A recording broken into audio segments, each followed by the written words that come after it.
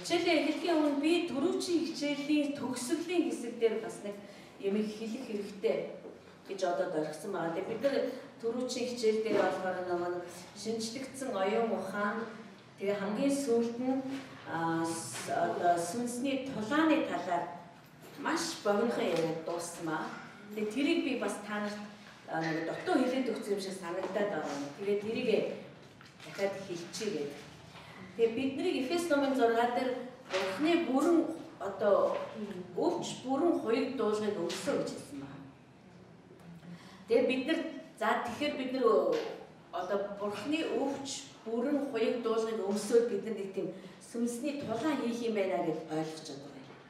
Тэгвэл бид нар яг үнэндээ тэр сүнсний тулаан эсвэл махан биеийн тулаан хоёроо ялгаж сайн чадахгүй байгаа. Ихэвчлэн бид нар Тулаанаа юу гэж ойлгоод байна гэхээр хин нэгэн хүнтэй муудалцах, хүчтэй харилцааны хямралд орох морхыг л бид нар ер нь тулаан гэж бодоод идэг. Тэр бол тулаан мөн л дөө яахааргүй тулаан мөн. Гэхдээ Паул бидэнд хэлэхдээ та нар хүмүүс яаж тэмцдэг шиг тэмцэх ёсгүй маа. Хэдийгээр бид нар махан бие дотор амьдардаг ч гэсэндээ бидний тулаан бол махан биеийн дагуу биш гэж хэлсэн. Тэгэхээр бид нар хил амаараа, хэрүүлээрээ, зүтгэлээрээ, босдог гаргаснараа, хэр сайн зодтолтгоороо, хэр сайн хор найруулдгаараа, залим ихээрээ бид хүмүүстэй байлдахгүй. Тэгээ бидний тулаан бол хүмүүстэй ч биш.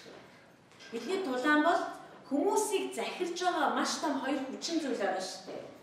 Эфес номд байж, Филиппо номд байж байгаа.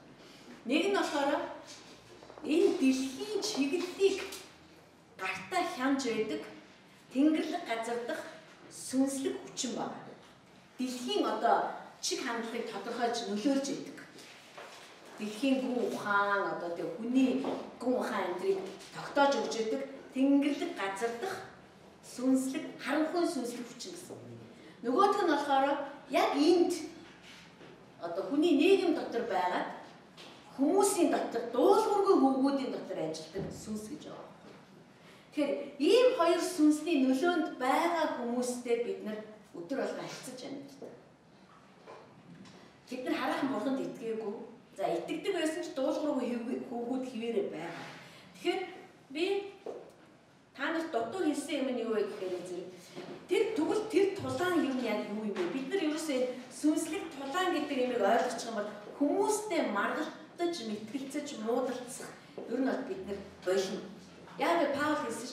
Та нар ерөөсөө болж өгвөл бүх хүнтэй эвдээ байхыг мүшиг гэж байна. Тэр чинь боломж байгаад байгаа. Бүх хүнтэй эвдээ байж болно. Та нар зүгээр хичээчих юм бол. Тэгэхээр бид нар бүх хүнтэй эвдээ бай сүнсний тулаа хоёрыг холиод байгаа. За тэгээд энд маш амархан арга байгаа. Тэр юу вэ гэхээр биднээс төлхүүрийг эзэмшдэг хүмүүсээ гэж түрүүчийн одоо сургалтын дээр бид нар ярьсан шүү. Биднэрт төлхүүрүүд байдаг. Тэр төлхүүрүүдээрээ бид нар одоо учир нь олдохгүй байгаа нөхцөл байдлуудыг нээдэг. Тэр төлхүүрүүдээрээ бид нар одоо айгүй олон жилийн туршид надад үзэгдэхгүй байсан боломжуудыг нээдэг. Тэр төлхүүрүүдээр бид нар ойлголцдоггүй хүмүүсийнхээ зүрхийг нээдэг. Ойлгодог хүмүүсийн ч зүрхийг нээ. Нэг маш хүчрэх төлхүүрийг бурхан бидэнд өгсөн байхгүй. Тэр түлхүүрээрээ бид нар одоо харанхуй хүчийг хүлж чадна. Бид нар хүлэхэд тэнд бас хүлээгдэнэ. Эсвэл бид нар тодорхой одоо боломжийг Монголд нээж чадна. Бид нар энд нээхэд тэнд бас нээнэ гэсэн. Тэгэхээр нэг юм юу бусын тэм түлхүүрүүд бид байгаа. За нэг хүчрэх түлхүүр нь одоо юу вэ гэхээр оюун санаа байхгүй. Оюун санаа. Энэ оюун санаа болохоор шинжлэхдээ тусмаа ял одоо бидний яриад байгаа тэр нөгөө сүнслэг тулаанд чинь ялаад яваад идэг. Бид нар ялаад яваад байгаагаа мэддэг. Ерөөсөө одоо нөгөө одоо за би энийг ялнда. Тэр ч гэж бодохгүй. Зүгээр шинж оюун санаа чи өөрөөр бодоод өөрөөр хардаг болсон учраас дайсан чамайг яаж чадахгүй байгаа байхгүй одоо ингээд чамд нэг зэвсэг тавь. Одоо одоо жишээлбэл одоо зүгээр айгүй элементарны юмнаас байгаа. Жишээлбэл одоо бидний нэг хүн маш хүчтэй гомдоолоо Тэр бол бүр одоо бидний ойрынх байж бол хийж байна. Маш хүчтэй гомдос учраас бид нарт хүн юм чи бидний зүрх өвдөн үл уучлал бидний дотор орж ирж байна. Гэтэл сүнслэг тулаан маань намайг гомдорцсон тэр хүнтэй өшөрхөлцөж хонцогнож өөрийнхөө зүвийг нотлох биш. Яавал би энд ингэж өөрийнхөө зүвийг батлах вэ? Юу гэж хэлэх вэ? Яах уу гэж ингэх биш. Харин миний оюун санаа одоо одоо бид нар өнөөдрийн хичээлийг ярьж байхдаа ярина л да. Библиэр эдэг нэг ишлэл гэдэг. Есүс тэдэн лөө сүнсээ үлээгээд тэгээд дагдаг нартай ингэж хэлж байгаа. За та нар одоо ариун сүнсийг авлаа. Гिचэн араас нэг сонио үгэл хэлж байгаа. Та нар хэнийг уучлаа? Түүнийг тэнгэр уучлаа. Та нар хэнийг үл уучлаа? Тэр хүнийг тэнгэр уучлаа. Сүнсийг авсны дараа. Тэгэхээр бидний оюун санаа би энэ хүнийг уучлахад эцэг минь энэ хүнийг уучлана. Би энэ хүнийг уучлахгүй байх юм бол энэ хүн уучлагдахгүй байх магадлалтай гэдэг энэ шин одоо юм миний оюун санаанд ороод ирж штэ. Оюун санаа тэрүүгээр өөрчлөгдөөд та энүүгээрээ бүр амьдрий. Тэгээ таны хувьд уучлахгүй байх нь бүр айгүй. Одоо аимшигтай гим бож хувирыг. Яг ийм төвшөнд хүрээд ирэхдээ та өчнөө тулааныг ялцсан гэж. Одоо таныг диавол одоо үл уучлал гэдэг маш том зэвсгээрээ ялах боломжгүй. Тэгэхээр үндсэндээ та энэ тулаанд ялна гэсэн. Гэхдээ ялаад байгаа бид нар мэдгүй л ялаад яваад байдаг. Оюун санаа шинжлэхдээ байгаа учраас шинж тодорхой ойлголт болгоноор шинжлэгдэх тусмаа бид нар ялаа л одоо нэг гэрт байгаа хүмүүсийн харилцаа эхнэр нөхөр одоо ээж аав хүүхдүүдийн харилцаан дээр ч гэсэндээ бид нар тулалдаад байдаг байхгүй хүнтэй тулалдаад өөрийнхөө зүвийг батлах гад гэтэл Христ ерөөсөө өөрийнхөө зүвийг баталж байгаа батлах нь түүний ажил биш байсан тэгвэл минийгч биш байх хэвээр Минийх зөв юм бол тэр тэрсээ рүү батлагдана. Тэрэнд бид нар санаад явах байхгүй. Тэгэхээр би танаас юу ч хэлгээд байна гэхээр энэ нэг тийм амар яриагтай тий хэр варгийн хүн энэ сүнсний тулааныг хийдэг юм биш. Хэр варгийн хүн энд ялдаг юм биш гэсэн ойлголт байхгүй. Бид нар өөрөөр бодох болгондоо өөрөөр бодож сурах болгондоо бид нар айгүй том ялтыг байгуул амжид. Тийм учраас биднэрт дайсан ямар ч зэвсэг бэлдээд одоо тарьсан бай тэр нь бүтлгүүтнэ гэсэн. Эсвэл ямар ч өрх занг тарьсан бай тэр нь бүтлгүүтнэ. Яг нь би занганд орж олно. Харин та намайг гаргаж авна. Би дуул ирнэ гэж хэлж байгаа. Тийм болохоор бид нар оюун санаагаа шинжлэх гэдэг нь очень чухал. Оюун санаагаа шинжлэх нь та зүгээр ялагч болно л ямар ч одоо тийм амар хүчин зүтгэл одоо бид нар сүнсний тулаан гэхээр зэрэг бистэ яг одоо Есүсийн нэрээр ярьж байна зү архины сүнс чамаа би Христийн нэрээр ингээд нэг ийм амар нэг тийм ятаргаатай дарамттай тий тэгэл ингээд заавал Есүсийн нэрээр ингээд зайл майл гэж хэлэхгүй бол хинч надаас явахгүй байгаа юм шиг тий ийм юм бодоод идэх байхгүй. Тэгтэл яг үүндээ тийм биш бид нар тийг залбирах хэрэгтэй гэхдээ хамгийн түрүүнд хизээ яасан байх вэ гэхээр энэ өөр бодоод ирэхэд бид нар ялцсан гэж Тийм учраас Христ өөрөө яал гэсэн байхгүй. Хүмүүстэй ерөөсөө тэр маргалдаал, хэрэлдээл, стандараа тэг гоморхоо, тонирхаал, арайчтэй та нарстай гэл тэгэл энэ тэнд очиод уйлаад ингээд яваа та. Яг л тэр огт өөрөөр боддог байсан. Үйл явдлыг дандаа өөрөөр хардаг байсан. Тэгээ бид нар ч гэсэн өөрсдөө яриаг ингээд сонсоод байх юм бол хүний тулаан хийгээд яваад Гэтэл тэр намайг ойлгож болно шүү дээ. Арайчтэй. Үгүй таныг ойлгох алгүй. Юус. Эдийн хүнээс тийм юм шаард. За бид энийг хэлэх гэсэн юм а та нарт оюун санаа шинжилнэ гэдэг бол та сүнсний маш олон тулаан би бол ер нь баг бүх тулаан гэж хэлдэг. Та ялнаа гэсэн. Өөрөө мэдлгүй ялцсан юм чинь. Яг л бид нар угаасаа ялцсан байхгүй. Ялагч талын учраас та өөрөөр бодоод эхлэхдээ та ялагддаг. Би ёстой сонирхолтой жишээ авъя. Та нар Рапунцелийг үзсэн үү? Наасан. Тий. Аа би ч орой болохоор бол гигэдэг юм уу? Бүгдийг нь үздэг ш сонгоод. Рапунцел бол хааны охин. Мөн үү? Гэхдээ тэрийг хулгайлсан. Тэгээд хинч олохоогүй газар цамхагт хийгээд цоочилсан. Цамхаг бол доороо хаалгатай. Гэхдээ хаалгыг байхгүй юм шиг болгоод өнхөнд болтолцсон. Тэгээд нэг эмэгтэй түүнийг Чи бол миний охин би чиний ээж гэсэн. Тэгээ Рапунцелд юу гэж ярьдаг вэ? Гадаа ертөнцөд аюултай гэдэг. А чи бол хэнийг ч дийлэхгүй гэдэг. Тийм биз? Чи хэнийг ч дийлэхгүй. чи бол өрөвдмөр үнэхээр хөөрхий төрхөн охин. Чамайг гаргах юм бол зүгээр захын цох орхой чамайг ахна. Хүмүүс бол чамайг зашлахгүй зайлх юм. Ингэж ярьсараад охин итгэцэн байсан. Гэтэ охины дотор юу байсан бэ гэхээр бас нөгөө гараад үз чи юмсан гэснийг юм байгаад идэг. Гэтэ тэр ээж нь бас тэгээ ярьсан болохоор ээжийнхаа өмнө итгэцэн байна. Тэгэхээр гэтэл тэр бол ээж нь биш байсан. Тэр бол одоо одоо тэрийг диавол байсан гэж бодчих юм. Тэг яг бидний тэгж боддог. Гэтэл тэр охин зүгээр хайрлын тавагтайгаа байлтанд орж байгаа байхгүй. Тэр охин тэр охин бол хааны охин. Тэр охин охин биш та хороо цэрэг ирсэн ч тэр охин ялна. Түүнийг чи юусаа яалахгүй чи угаасаа ялагч биш. Чамаа дэлхийн хуурна. Тэгээ чи хаягдна ерөөсөө. Тэг чи монхруулсаар байгаа тэр охин бол айцсан байсан. А тэг гадаа гараад алхахтаа бол тийм биш юм аа гэдгийг мэдсэн байхгүй. Тэгэхээр тэр охин мэдсэн нь үжээ тэр охины яалах байсан. Оо энэ худлаа байсан. Энэ бол гудал байсан. Түүнчлэн биднээсийг ингээд тэр өөрийгөө залхим ихээр нэг юм дотор хорчиж байгаа байхгүй. Хэнийг ямар залхим ихээр хорихоо тэр мэднэ. Харин бид нар үнэмшээд суугаад байгаа нь бид нар ялагчийн байр сууриас өөрсдөө татгалзаж байгаа. Тэгээд тэрний худал өгөнд итгээд явж байна. Тэгээ бид нар цаг хугацааг алддаг. Ийм л учраас оюун санаа маань өөрөөр бодож эхлэх гэдэг бол үнэхээр гайхамшигтай. Тэгэх юм бол бид нар тэгээд та нар харж байна уу? Бид нар сүнс дотор дахин төрсөн. Сүнс бол асуудал. Ганцхан оюун санаа сүнс хоёр нэгдэж ажиллаж байгаа. Яг энэ дандаа өөр хуучнараа боддог. Ийм тийм ийм чараатай, тийм хараа зүгэлтэй, ийм ч аймаар, тийм ч аймаар гэх сүнс нь тийм бишээ гэдэг чинь оюун санаа мөн гэдэг.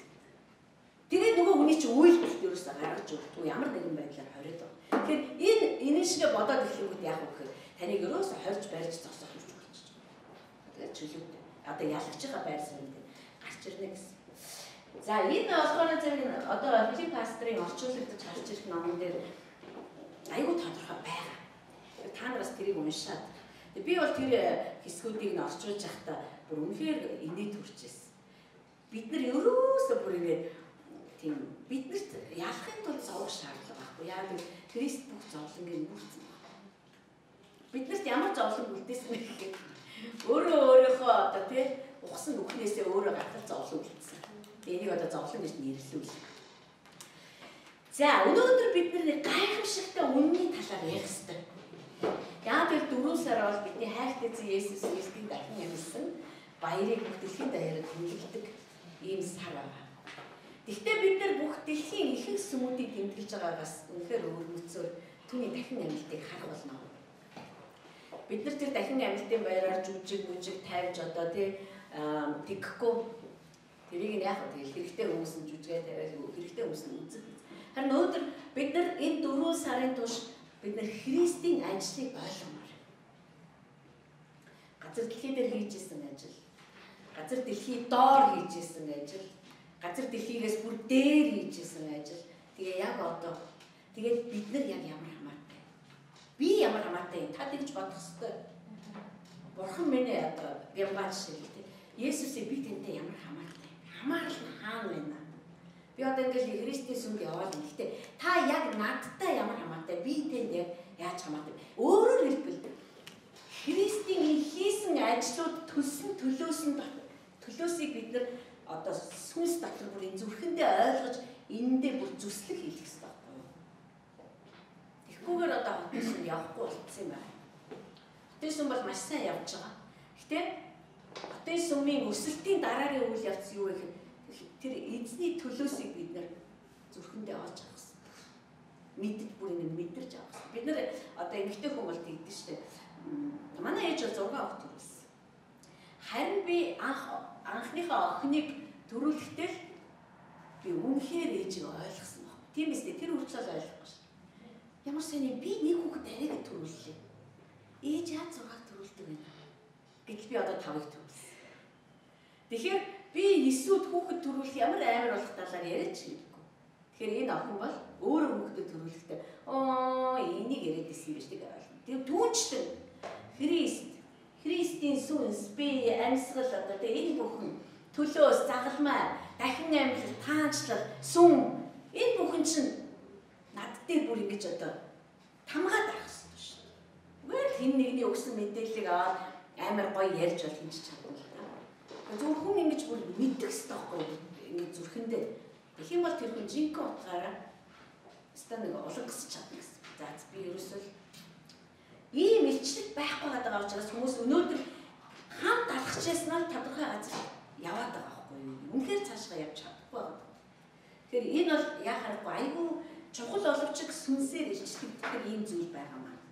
Тэгээ би та нар тодорхой ишлэлүүдийг нь хэлээд та нар сайхан тэмдэглэж аваад гэртээ очоод ганцхан тэр ишлэлийг биш.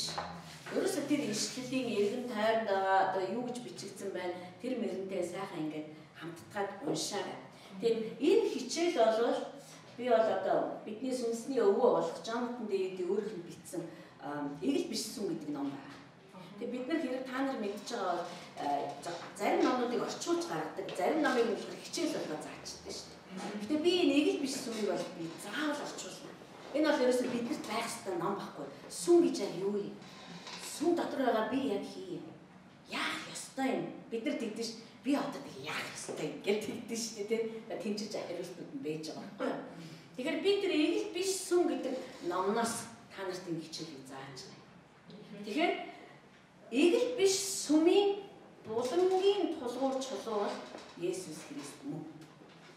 Тэгэхээр хэдүүлээ өнөөдөр тэр хайлт эзний сүнс би сүлийн амьсгал сүнсэн би дотор юу хийсийг яа дахин амьсан эхлээд юу амьсан тийм ээ энийг цөмөрөө нэг тийм логиктойгоор эрэмбтэйгээр эмх зэгцтэйгээр ойлгоод авчих. Яг нь энэ бол өнөөдөр бидний хувьд мэдээлэл гэж болно. Тэгэхээр энэ бол Бурхны сүнс бидний сүнс дотор ажиллахад маш төхөмтэй бол тодорхой ойлголт бидэнд өгч байгаа.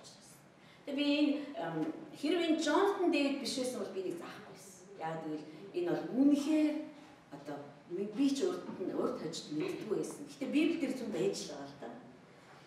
Тэгтээ энэ бол яхахгүй Джонтон Дэвид өөрөө байсан учраас тэр хүн бол хизээч худлаа ярихгүй.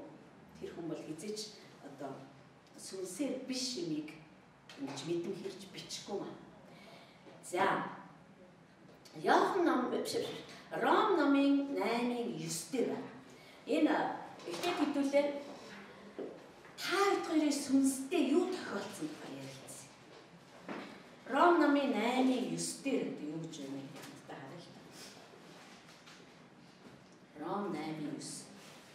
За би ойлгомжтой болгохын тулд заримдаа би англи библийг ашиглаад ингээд та нарт бас хэлж өгнө.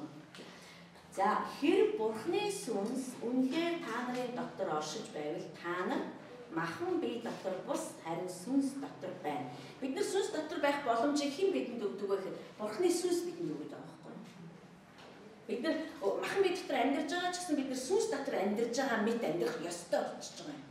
Шаардлага. За тэгэнгүүтээ хэрэг хэн нэгэн Христийн сүнс байхгүй бол тэр түүнийг биш.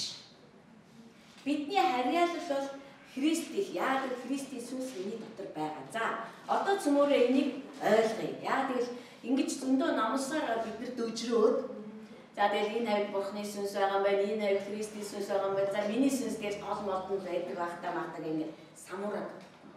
Тэр цөмөрөө энэ юу юм цэгцтэй харъя. Яг л бурхан ч өөрөө тийм самуурын сүнс биш. Тэр эмх цэгцээ. Тэгэхээр Есүс одоо та бид хоёр урд нь эдэн цэцэрлэгт Адам диаволын одоо юунд мэхэнд унсан байна. Диавол түүнийг мэхэлсэн учраас тэр одоо гим үлддэг болсон. Өөрөөр хэлбэл түүний сүнс Бурхан түүний бүтээчэд амруу амиа амьсгалаа хамарлуу амиа амьсгалаа үлээсэн гэдэг шүү дээ нэг одоо эхлэх байгаа нэг. Өөрөөр хэлбэл Бурханы сүнсийг хүлээж авсан байхгүй юу? Адам бүтээгдэж. Тэгээд тэр яасан бэ гэхээр амьд оршигч болсон. Тэр зүгээр ч нэг амьсгаатай амьтан байгаагүй. Тэр бүр бурхны сүнсийг дотроо хүлээж авсан. Тэгэхээр бурхны сүнсийг хүлээж аваад ингээ явж идэл чинь могоо Еваг мэхлээд тэр мэхлэлд нь Адам унсан. Ингээд Ева Адам хоёр хоёулаа нөгөө бурхны сүнсийг гээсэн. Тэгээд одоо өөрсдийнх нь дотор байгаа сүнс нь яасан бэ гэхээр нөгөө могоон мэхэлээр дамжуулаад сатаны мөн чанартай болж гисэн. Гинт мөн болсон. Тийм учраас тэр хоёр яасан? Шууд худлаа ярьсан шүү. Шууд бултсан. Би биш энэ эмэгтэй. Эмэгтэй би яасан энэ могоон. Ерөөс айгүй урдтай. Тэгэхээр хүний сүнс тэр цагаас эхлээд гинт чанартай сатанлаг болсон гэсэн үг. Сатанлаг болсон. Маш хурдтайгаар ялцарч ирсэн. Яа хэдийгээр хүнд одоо бид нар ингээд дэлхийн хүн төрөлхтөд энэ төр харах юм бол одоо амар амар юм бүтээж одоо тий бүр одоо технологийн бүр дээд өргөлтөд хүрэх гээд байгаа юм уу яах гэдэг одоо хүний эргэтэн бүтээх гээл үзээд одоо ер нь бараг бурхан болох гал үзээд байгаа юм. Тэгэхээр бурхны дээр бүтээгч бүтээлч чанар энэ бүхэн нь хүнд үлдсэн боловч сатанлаг чанартай болсон байна. Сатанлаг чанартай. Хүн одоо маш сайхан дуулдаг байж болно. Тэгээ тэр хүн гэхдээ сүнс нь аврагдаг учраас сатанлаг чанартай болсон учраас тэр дуулж чаддаг чадвар тэр бэлэг авьяасыг өөртөө ашиглах. Одоо өөрөө нэрд гарах, одоо ертөнцийн номер 1 дуучин болох эсвэл одоо энэ үеийн дуучин болох ч гэдэг юм. Тэгэхээр бурхны гих зүйлс түүний дотор үлдсэн ч гэсэндээ сатанлаг мөн чанараараа тэрийг удирддаг. Ингээд уултанд орсон байхгүй. Тэгтэл бурхан агуу төлөвлөгөөгөө хийнгүүтээ Есүс Христийг илгээлээ. Есүс Христийг илгээсэн нь юу вэ гэхээр зэрэг бидний нөгөө сатанлаг мөн чанартай болсон сүнсийг маань бид нар Христийг хүлээж аваа та бол миний эзэн мөн та миний амьдралд орж ирээч та миний гин нүглийг үнэхээр загалмаа дээр авсан юм байна би танд итгэж байна намайг уучлаач таньгүй амьдрсны төлөө та намайг өөрийн хүүхдээ болгож аваач таны хүүгийн төлөө талархлаа гэж бид нар залбираад хүлээж авдаг шүү дээ тэгэл усаар угаалгадаг шүү дээ яг тэгэхэд бидний сүнс нөгөө сатанлаг мөн чанартай байсан сүнс маань Христийн мөн чанар бүхий сүнсээр дахин шинжлэгдэн бүтээгдсэн. Одоо бидний сүнс ямар мөн чанартай болсон бэ? Сатанлаг байхаа болоод Христийн мөн чанар дүр төрхийг дуурайсан. Тийм чанартай сүнс болоод шинжлэгдсэн байна. Дахин бүтээгдсэн, шинжлэгдсэн. Тэгэхээр би энд сонирхолтой юм хэлэх гээд байна. Есүс тэрийг хийхин тулд Есүст бурхан биеийг бэлдсэн. Мөн бидтэй. Биеийг бэлдсэн. Яагаад гэвэл Есүс биднийг бидний сүнсийг нөгөө сатанлаг мөн чанартай болсон бидний сүнсийг дахиж өөрийнхөө мөн чанараар дахин бүтээхэд бол гарцаг үенд ирэх хэрэгтэй гэсэн. Энд ирэхэд бол тэр хүн болох хэрэгтэй гэсэн. Яагаад? Тэр яагаад за хүн болохгүйгээр яагаад хийж болдгүй юм бэ? Яагаад тэр үхэх ёстой байсан учраас бурхан үхэхгүй шүү. Бурханыг алж болохгүй байхгүй. Бурхан хэрэг Христ тэнгэрт байж байгаа зүгээрээ би газар мазар бууж ингэж яах нь зөв юм өмнө тавчлаа л даа. Зөв би энд үхчих. Тэр үхэж бол тэр үхий гэж үхэхгүй. Бурхан ч үхэшгүй. Тэгэхээр үхээд дахин амьсан байхын тулд бид бидний сүнсийг өөрийн сүнсний мөн чанараар дахин бүтээсэн байхын тулд яагаад хүн болох хэрэгтэй болж байгаа. Тэгэхээр бурхан хүүдээ биеийг бэлдсэн. Харин бидэнд шин сүнсийг бэлдсэн байна. Хүү ирээд би дотор оръё. Тэгээд тэр хүү одоо бол хязгаарлалт бол би дотор амьдрий. Хүү гимгүү бие дээрээ бүх гимүүдийг шийтгий. Энийний дараа бидэнд шин сүнс өгнө. Өөрөөр хэлбэл нөгөө гимт одоо сатанлаг мөн чанартай сүнс маань Христийн мөн чанараар дахин бүтээгдэг. Одоо бидний дотор Христийн сүнсний мөн чанараар өөрчлөгдсөн тэр сүнс оршиж байгаа. Тийм учраас Рам юу гэж хэлдэг вэ гэхээр хэрэг чиний дотор Христийн сүнс байвал чи бол түүнийх. Байхгүй чи түүнийх биш гэсэн. Тэгэхээр Бурхан бидэнд шин сүнсийг бэлдсэн харин Христэд бол чи шин сүнстэй болсон байхын тулд чи тийшээ яв. Гэтэ явах явахын тулд чамд би хэрэгтэй. Үхэхийн тулд чамд би хэрэгтэй. Дахин амьлахын тулд чамд би хэрэгтэй. Бурхан бидэнд шин сүнсийг бэлдсэн. Христэд болохоор шин биеийг бэлдсэн. Тэгээд Христ газар дэлхийн дээр байна. Тэгэхээр та бид хоёрын дотор одоо ямар ч тийм одоо гимтэй чанартай сатанлаг тийм сүнс байх байсан. Бидний сүнс бол Христ хэн байсан? Яг тэр орцыг агуулсан шинжлэгдэж дахин бүтээгдсэн тэр сүнс болж ирсэн байна. Бидний тийм л учраас бид нар юмсыг ялгадаг болсон. Тийм л учраас бид нар ингээл гин нүглийг хайгаал, эрен хайгаал ингээл ингээд явхаа болчихсон. Тийм учраас бид нар бузар байхаас ариун байх нь ямар сайхан юм бэ гэдэг гэдгийг бид нар мэддэг болсон. Нөгөө сүнс чинь өөрөө бидэнд бүр яагаад ч бид нар бүр тэгж хүсэн тэмүүлдэг болчихж байгаа. Яагаад гэвэл бидний дотор тэр Христийн сүнс амьдраад байгаа ойлгосон. Тэгэхээр та бид хоёрын дотор Есүс Христ хүн болоод ирээд амьдраад үхээд дахин амьлаад түүний үр дүнд миний сүнс Есүс Христийн чанар дүр төрх бүгд шинжийг зан авирын үлдэл заяа. Агуулсан тэр сүнсээр миний сүнс шинжлэгдэж бүтээгдсэн. Дахин бүтээсэн. Тэгэхээр бурхан биднийг дахин бүтээхдээ хүүгээ бие дотор оруулж ирсэн гэсэн. Хүүд бие өгсөн байсан харин бидний шин сүнс бэлтгэсэн гэсэн. Тэгэхээр бид нар тэгэхээр ариун сүнс ийм л хүмүүсийн дотор орж байна. Ариун сүнс ариун сүнс эцэг хүү гурав бол ариун гурав. Тэгэхээр ариун сүнс бол эцэг ба хүүтэй хамтан ажиллагч. Бас эцэг хүү байхгүй газарт ариун сүнс дураараа юу ч хийж явахгүй. Тэгэхээр хиний дотор Христийн чанар, шинж, авир бүх юмыг нь өвлөн төрсөн сүнс сүнс байна. Тийшэл ариун сүнс татагдаж ажиллана гэсэн. Өөрөөр ажиллах боломжгүй. Тэгэхээр та бодоорой. Бид нар өөртөө аврагдаагүй хүмүүст Үгүй чи зүгээр л залбир. Эсвэл чи Библи унш гэж хэлж болно л доо. Тэр хүн юу ч ойлгохгүй. Аврагдаагүй байхгүй тэр. Ариун сүнс тэр хүний дотор орж ирэх үү та боддоо. Боломжгүй. Тэр чинь ариун гэдэг нэртэй байна. Зүгээр л би тэгж хэлж хэлье. Бид нар тэгдэг шүү дээ, тий? Сайн ойлгох байгаа учраас хажуу айлгаа хүнд ингээл нөгөө хүн гоё юм а тий. Тэг би одоо залбирч болох болно шүү дээ.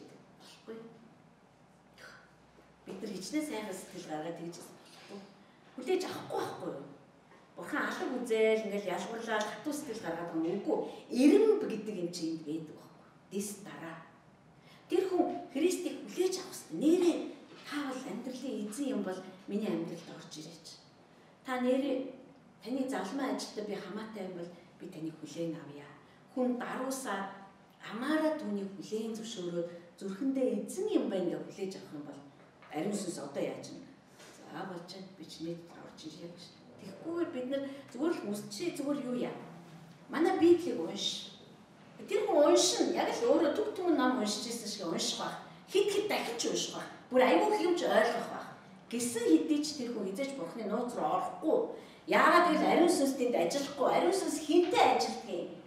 Христийн сүнстэй нэгэнтэй л ажилдаг баг. Яагаад гэвэл Чамд Христийн сүнс байна уу? Тэгвэл чи Есүсийг байхгүй чи түүнийг биш. Тэгээ ийм эрен байдаг байхгүй. Тийм учраас бид нар аврагдсан юм. Түүнээс бид нар зүгээр л өөрийнхөө ухаанаар Библийг уншиж байгаа түт гэж ойлгоод тэгэл зүгээр өөртөө очиргоо залбираад бид нар тэгээгүй өстэй. Бид нар тэгээгүй ш. Бид нар даруулсан, бид нар бүр алингаа алдсан, бид нар хүлээж авсан, түүний аврагч юм байна гэдгийг хүлээн зөвшөөргөөс өөр аргагүй нөхцөл байдалд орсон. Тэгээд хүлээн авсны дараагаар харин бидний амьдрал ариун сүнсний юу гэсэн өдөрдмжүүд ажиллаж эхэлсэн. Тэгэхээр энэ Христийн сүнсний сүнс миний дотор байна гэдэг бол энэ бол аим. Энийг чинь бид нар аим гэж хэлдэг. Мөнх аим юм аа гэж. Би мөнх үхлээр амьдрахгүй би мөнх амиар амьдрна гэсэн. Энэ айгүй чухал бид нар энийг ингээд маш тодорхой ойлгоод авчмаар байна. За цаашаа Хэдүүлээ одоо одоо энэ хэсэг бол ингээ ойлгомжтой болсон тийм ээ. Энэ Эфес номон дээр ч байж байгаа. Юу Паулийн бүх захидлууд, захидлууд дээр бүгд байж байгаа. Галаат байна тийм. Сүнсээр яваач. Тэгвэл чи сүнсний үжимсийг авнаа. Махан би яагаад Иесусийн сүнсээр миний сүнс дахин шинжлэх ёстой юм? Дахиж би махан биеийн бүсэл тачаалыг гүйцэлдүүлэхгүй байхын тулд ш. Одоо махан биеийн бүсэл тачаал юу ч хүсэж болно ш. Бид нар юу хүсдэг байснаа бүгд мэдж байгаа итгэхээс өмнө Харин тэрийг хүсүүлэхгүй болгох чадвартай энэ сүнс байгаа. Миний дахин шинжлэгдээд шинжлэгдээд дахин бүтээгдсэн тэр сүнс. Тийм учраас бидний амьдрал хараа тэр чигтээ нөгөө христлэг болдог. Бид нар Паул юу гэсэн бэ? Та нар зөвхөн амийн аваад зогсоогүй, та нар зовлонгийн хүртэл авсан шүү дээ гэж. Тэгээ бид нар энэ сүнсийг хүлээж авчаад өөрсдөө зовхгүй амьдрын гэж байна. Бид нар зовно. Биднийг голно. Биднийг ад үзнэ. Биднийг басамжлна. Биднийг хуурна. Биднийг мэхлэн. Биднэрт худлаа ярина. Биднийг зал мэхэндээ унгаах гэж оролдоно. Биднийг гүжигдэн, гүтгэн Христ тэгж л амьдэрсэн бидтэй. Яагаад бид нар тэрнээс өөр амьдрна гэж? Бидний дотор түүний сүнс байна. Тэгтээ тэр бүх төлөөсөө төлсөн. Тэгээд бид нар хэдийгээр түүний гоологдол одоо тэр гүжиг гүтгэлэг энэ тэрийг бидний амьдрал дээр ч гэсэн баг баг порцоор явж байгаа шүү дээ тийм. Тэгсэн ч гэсэн ялал биднийх ш бас. Тэ тэр бүхнийг ялж гарч ирсэн ялалтууд нь бид бас биднийх аахгүй. Тэр Христийн өв бид нар хамтран залгамжтай шүү дээ. Байр суурь бид нар нэг байр суурь дээр байгаа шүү дээ. Бүгдийн багцаар бид нар ингэж авдаг байхгүй. Тэгээ бид нар ерөөсө гайх хэрэггүй ахын төсөө. Яагаад ингэж байгаа юм бэ? Намайг яаглаа гэж чи ингэж одоо намайг ингэж байгаа юм бэ?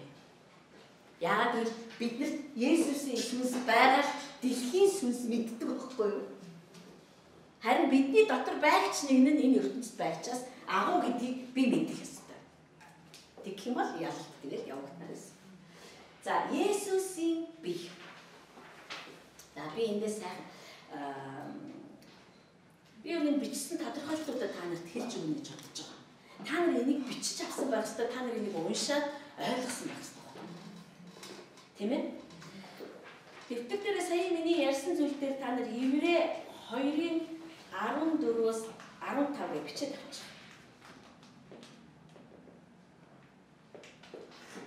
Тэгэхээр яа харахгүй бурхан биднүүсийг одоо дахин бүтээгдсэн шинжлэгдсэн сүнстэй байх байлгахын тулд хүүгээ илгээсэн. Байлгахын тулд бидний өмнөөс хүүсэн байна. Байлгахын тулд загалмай бүхий л хүн төрлөختний гэмт чанарыг цуг хадаж устгасан ба. Юу нэг еврей 10 еврей 2-ыг уншина. Би уншихтаа энэ англи библиэс уншиж болж байгаа. Энэ их сонирхолтой юм бэ гэвэл тайлбар библиэлд гоё бичсэн байлээ. Би та нарт энэ хэлээд өгчээ. Монгол библиэлд яг бол ингэж гараагүй. Энэ чинь янз бүрийн орчуулга явдсан байлээ шүү дээ. А энэ тайлбар орчуулах надад их сайхан ингэ зэгцтэй санагдсан шүү. За 2.14 дээр ингэж ингэж хэлсэн маа. Би танаас зүгээр энэ Монголыг нь биш өөр юу хараа. Яагаад гэвэл Бурхны хөвгүүд нь махан махан бие дотор амьдардаг хүмүүс юм аа. Тэд мах цуснаас бүрдсэн. Тийм болохоор хүний бурхны хүүч гэсэн бас мах цусан бие дотор амьдрах хэрэгтэй болсон юм аа. Зөвхөн хүн үхдэг учраас Есүс үхэх хэрэгтэй болсон. Тэр үхэх үх тэр үхлээрээ диаволын хүчийг устгасан. Ямар хүч вэ гэхээр үхлийн хүч. Яг ийм л арга замаар Есүс бүхий л амьдралынхаа туршид үхэхээс айдаг байсан тэр хүмүүсийг тэр айдсаас нь чөлөөсөн юм аа. Тайлбар орчуулга дээр их одоо их сайхан юм аа. Яг л бурх бурхны хөвгүүд бид нар бүгд мах биетэй цустай хүмүүс. Тэгэхээр Есүс яг адилхан болж ирэх хэрэгтэй байсан. Тэгжээж тэр гмийн хүчийг устгах хэрэгтэй байсан. Тэгжээж тэр гмийн хүчийг загалмайдад өөр тэр устгах чадах байсан. Ер нь бол бид нар хуучин гэрээний тархины одоо зарчмыг харах юм бол Тэд нар яагаад заавал амтан алдаг байсан бэ гэхээр амтан гимгүү байсан байна. Гим үлддэг. Тэгэхээр амтан гим үлдэх боломжгүй. Зүгээр бурхны төлөвлөгөө юу байсан бэхээр яг юм гим үйлдэггүй хүү дээр хүн л яг төгс өргөл болж чадах байсан. Зохист хураг болж чадах байсан. Түүнээс амтны цус ерөөсөө бурхныг хангалттай байлгаж чаддгүй байсан. Яг л тэр амтны цус шүү. Тэгээ бэлэгдэн байгаа гэсэн байхгүй. Би хүүдээ би бэлтгэсэн байгаа. Яагаад гэвэл би хүмүүс шин сүнсийг бэлтгэсэн байгаа. Хүүг илгээхэд хүү зохист тахил болно. Хүүгийн цус бүх гэмиг угаана. За энэ хэсэг рүү орох юм бол бид нар үнэхээр тасам та нарын зарим нэг чинь хажуу тал руу унж магадгүй. Тийм би бол үнэхээр алмаарсан. Ямар гоё юм бэ нэрээ. Би чи юу руу орцсон юм бэ? Йоо ёо ёо гэж үнэхээр надад тийм ойлголт гэдэг бол хүч. Бид нар энийг ойлгоно гэдэг бол үнэхээр хүч. Бид нар зөвхөн бид хэд биш. Биднийг сонсож байгаа монголчууд. Бид нар энэ Христийн энэ ажлыг ойлгох юм бол одоо үнэхээр хайртай. Ойлгох ёстой бид нар. Бидний эзэн юу хийснийг ойлгохгүй явж болохгүй. Яг бид нар зарцсан биш үү? Бид нар хүүхдүүд нь. Эзэн зарцаасаа бол юм уу? Харин хүүхдээсээ юу ч нөхгүй. За цаашаа бие дээр очиж. За Христийн бие загламай дээр байлаа. Юу хийгээд байлч. Би ингэж хэлсэн байна.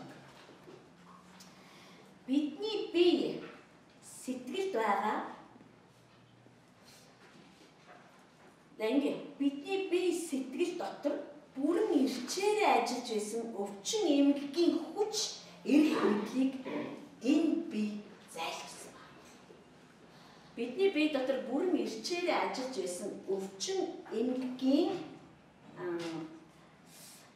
хүч эрх мэдлийг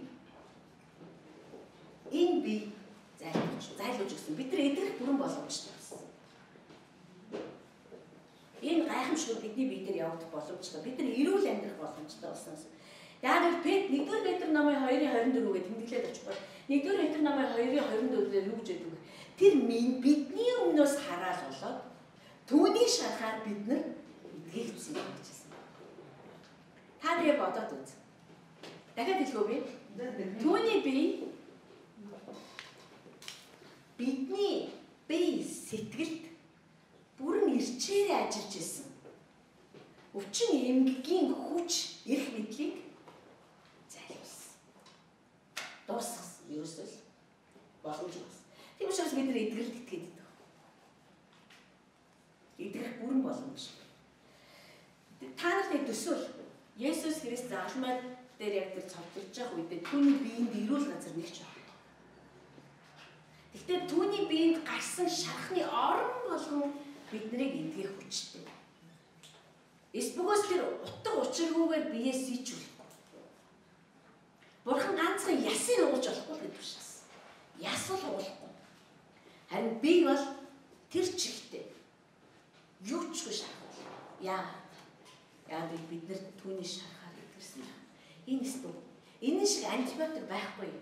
Нэрш би одоо гэгээтэйгээ унтж байхдаа гэгээг би өвдөж өгдөг би тэгж тунх гэлт. Миний эзний нэг шар чамайг идэх чадaltaй. Ямар энэ их хүчтэй тунхаг. Бид нар одоо эдгээгээд өгөөч. Бид нар түлхүүрээ төхөө. Эдгэрлээ зүгээр л түлхүүрдээ онгойлоход авъя.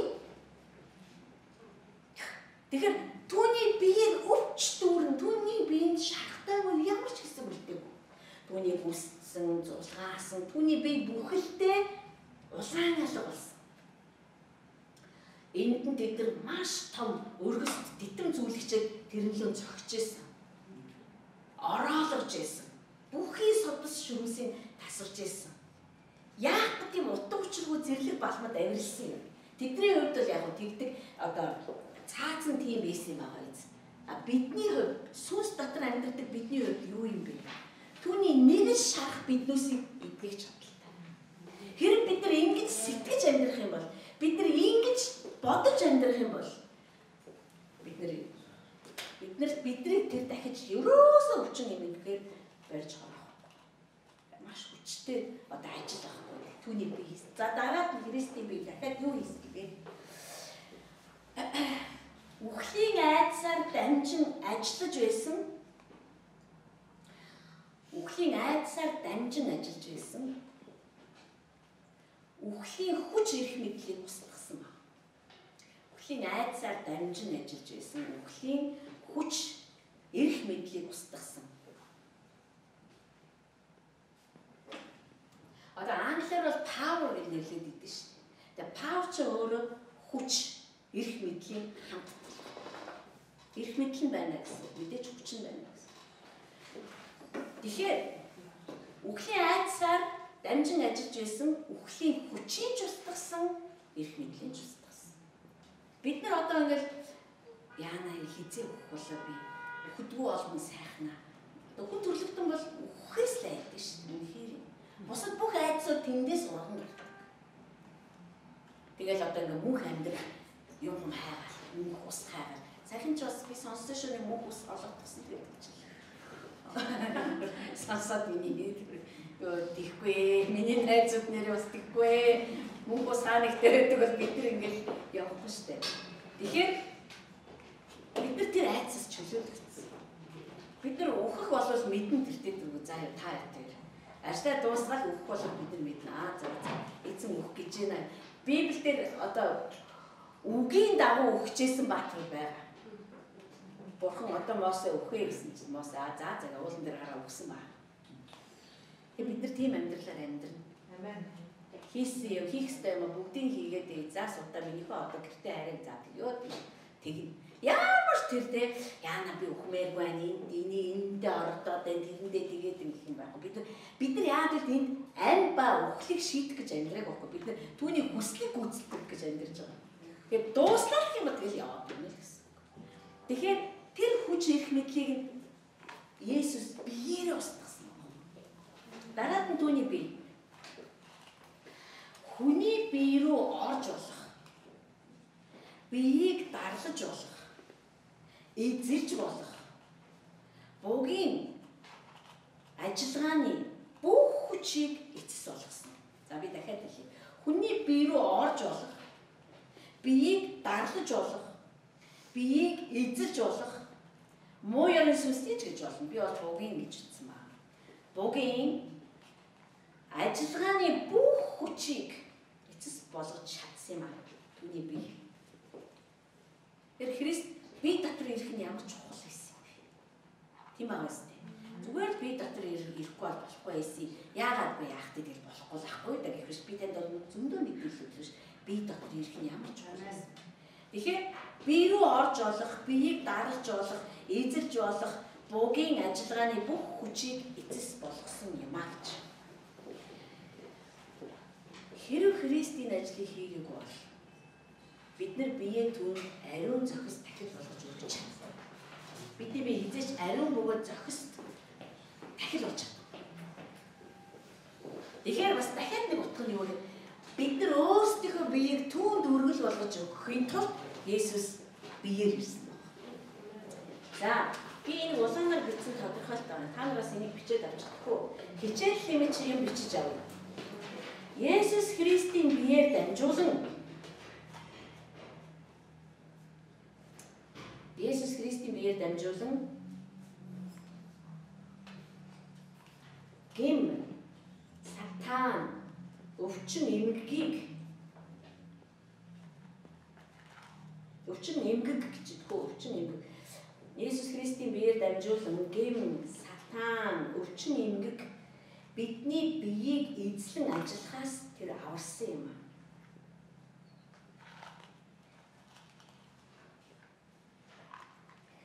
Есүс Христийн биеэр дамжуулан гэм сатан өвчин эмгэгийг эмгэг бидний биеийг эзлэн ажиллахаас биднийг аварсан юм. Тэр аварсан баггүй.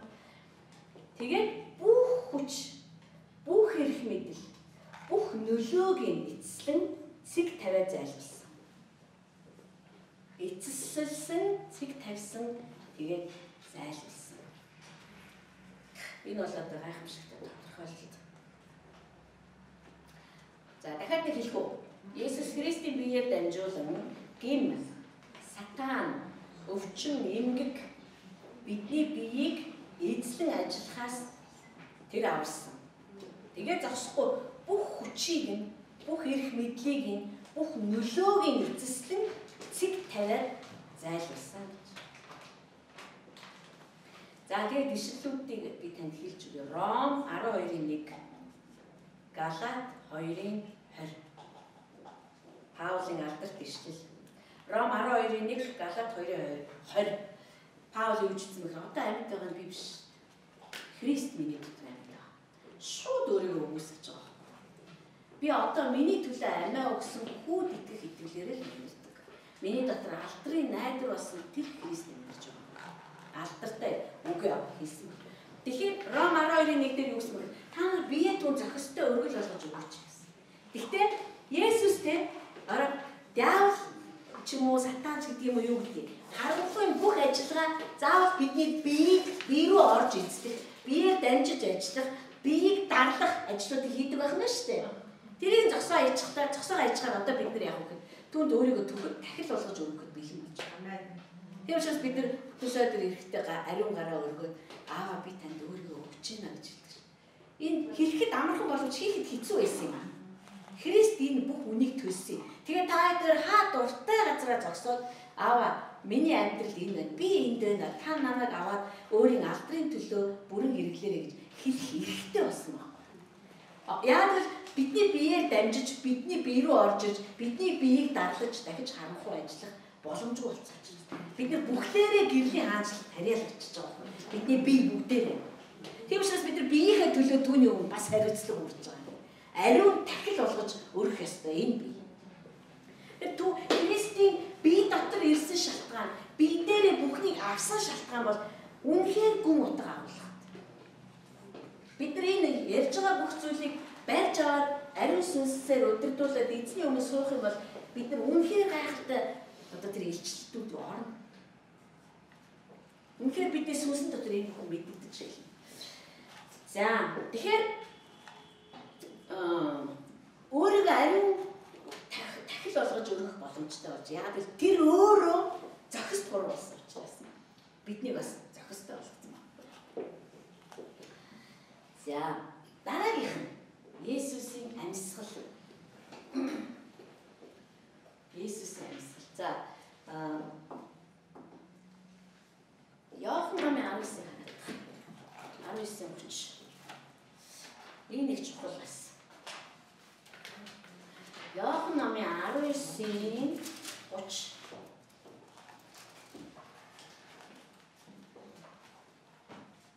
За энэ ингэж байгаа.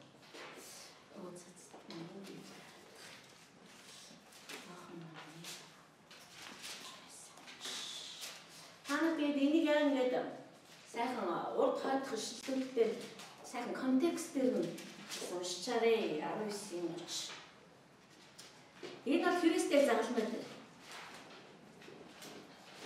Үүний дараа Есүс бүх юм идүүгээ биелэгдсэнийг мэдээд тэр ч одоо зовлон амсж байгаа зовлондоо мэдрэлээ алдчихаагүй байсан биш. Бүх мэдрэл бүрэн ирчээрээ ажиллаж байсан.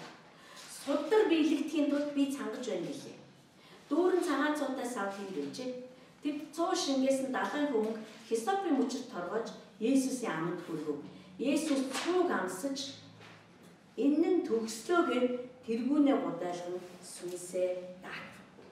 Зарим газар түүний эцсийн амьсгал авагдаад туслагч. Нас ороо гэсэн тийм үү? Үний үнээр ярих. Есүсийн эцсийн амьсгал түүний нэг газар хаваадсан ба. Эцсийн амьсгал нь. Энэ бол их чухал момент байсан. Маш чухал момент.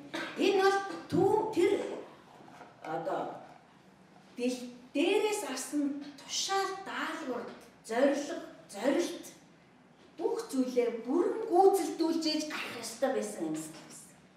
Бүрэн гүйцэлдэж тэр эцсийн амьсгалаа аваад тэгээ тэр сүнсээ зүгээр хин нэгэнд биш эцэгтэй даатгах гэсэн юм байна.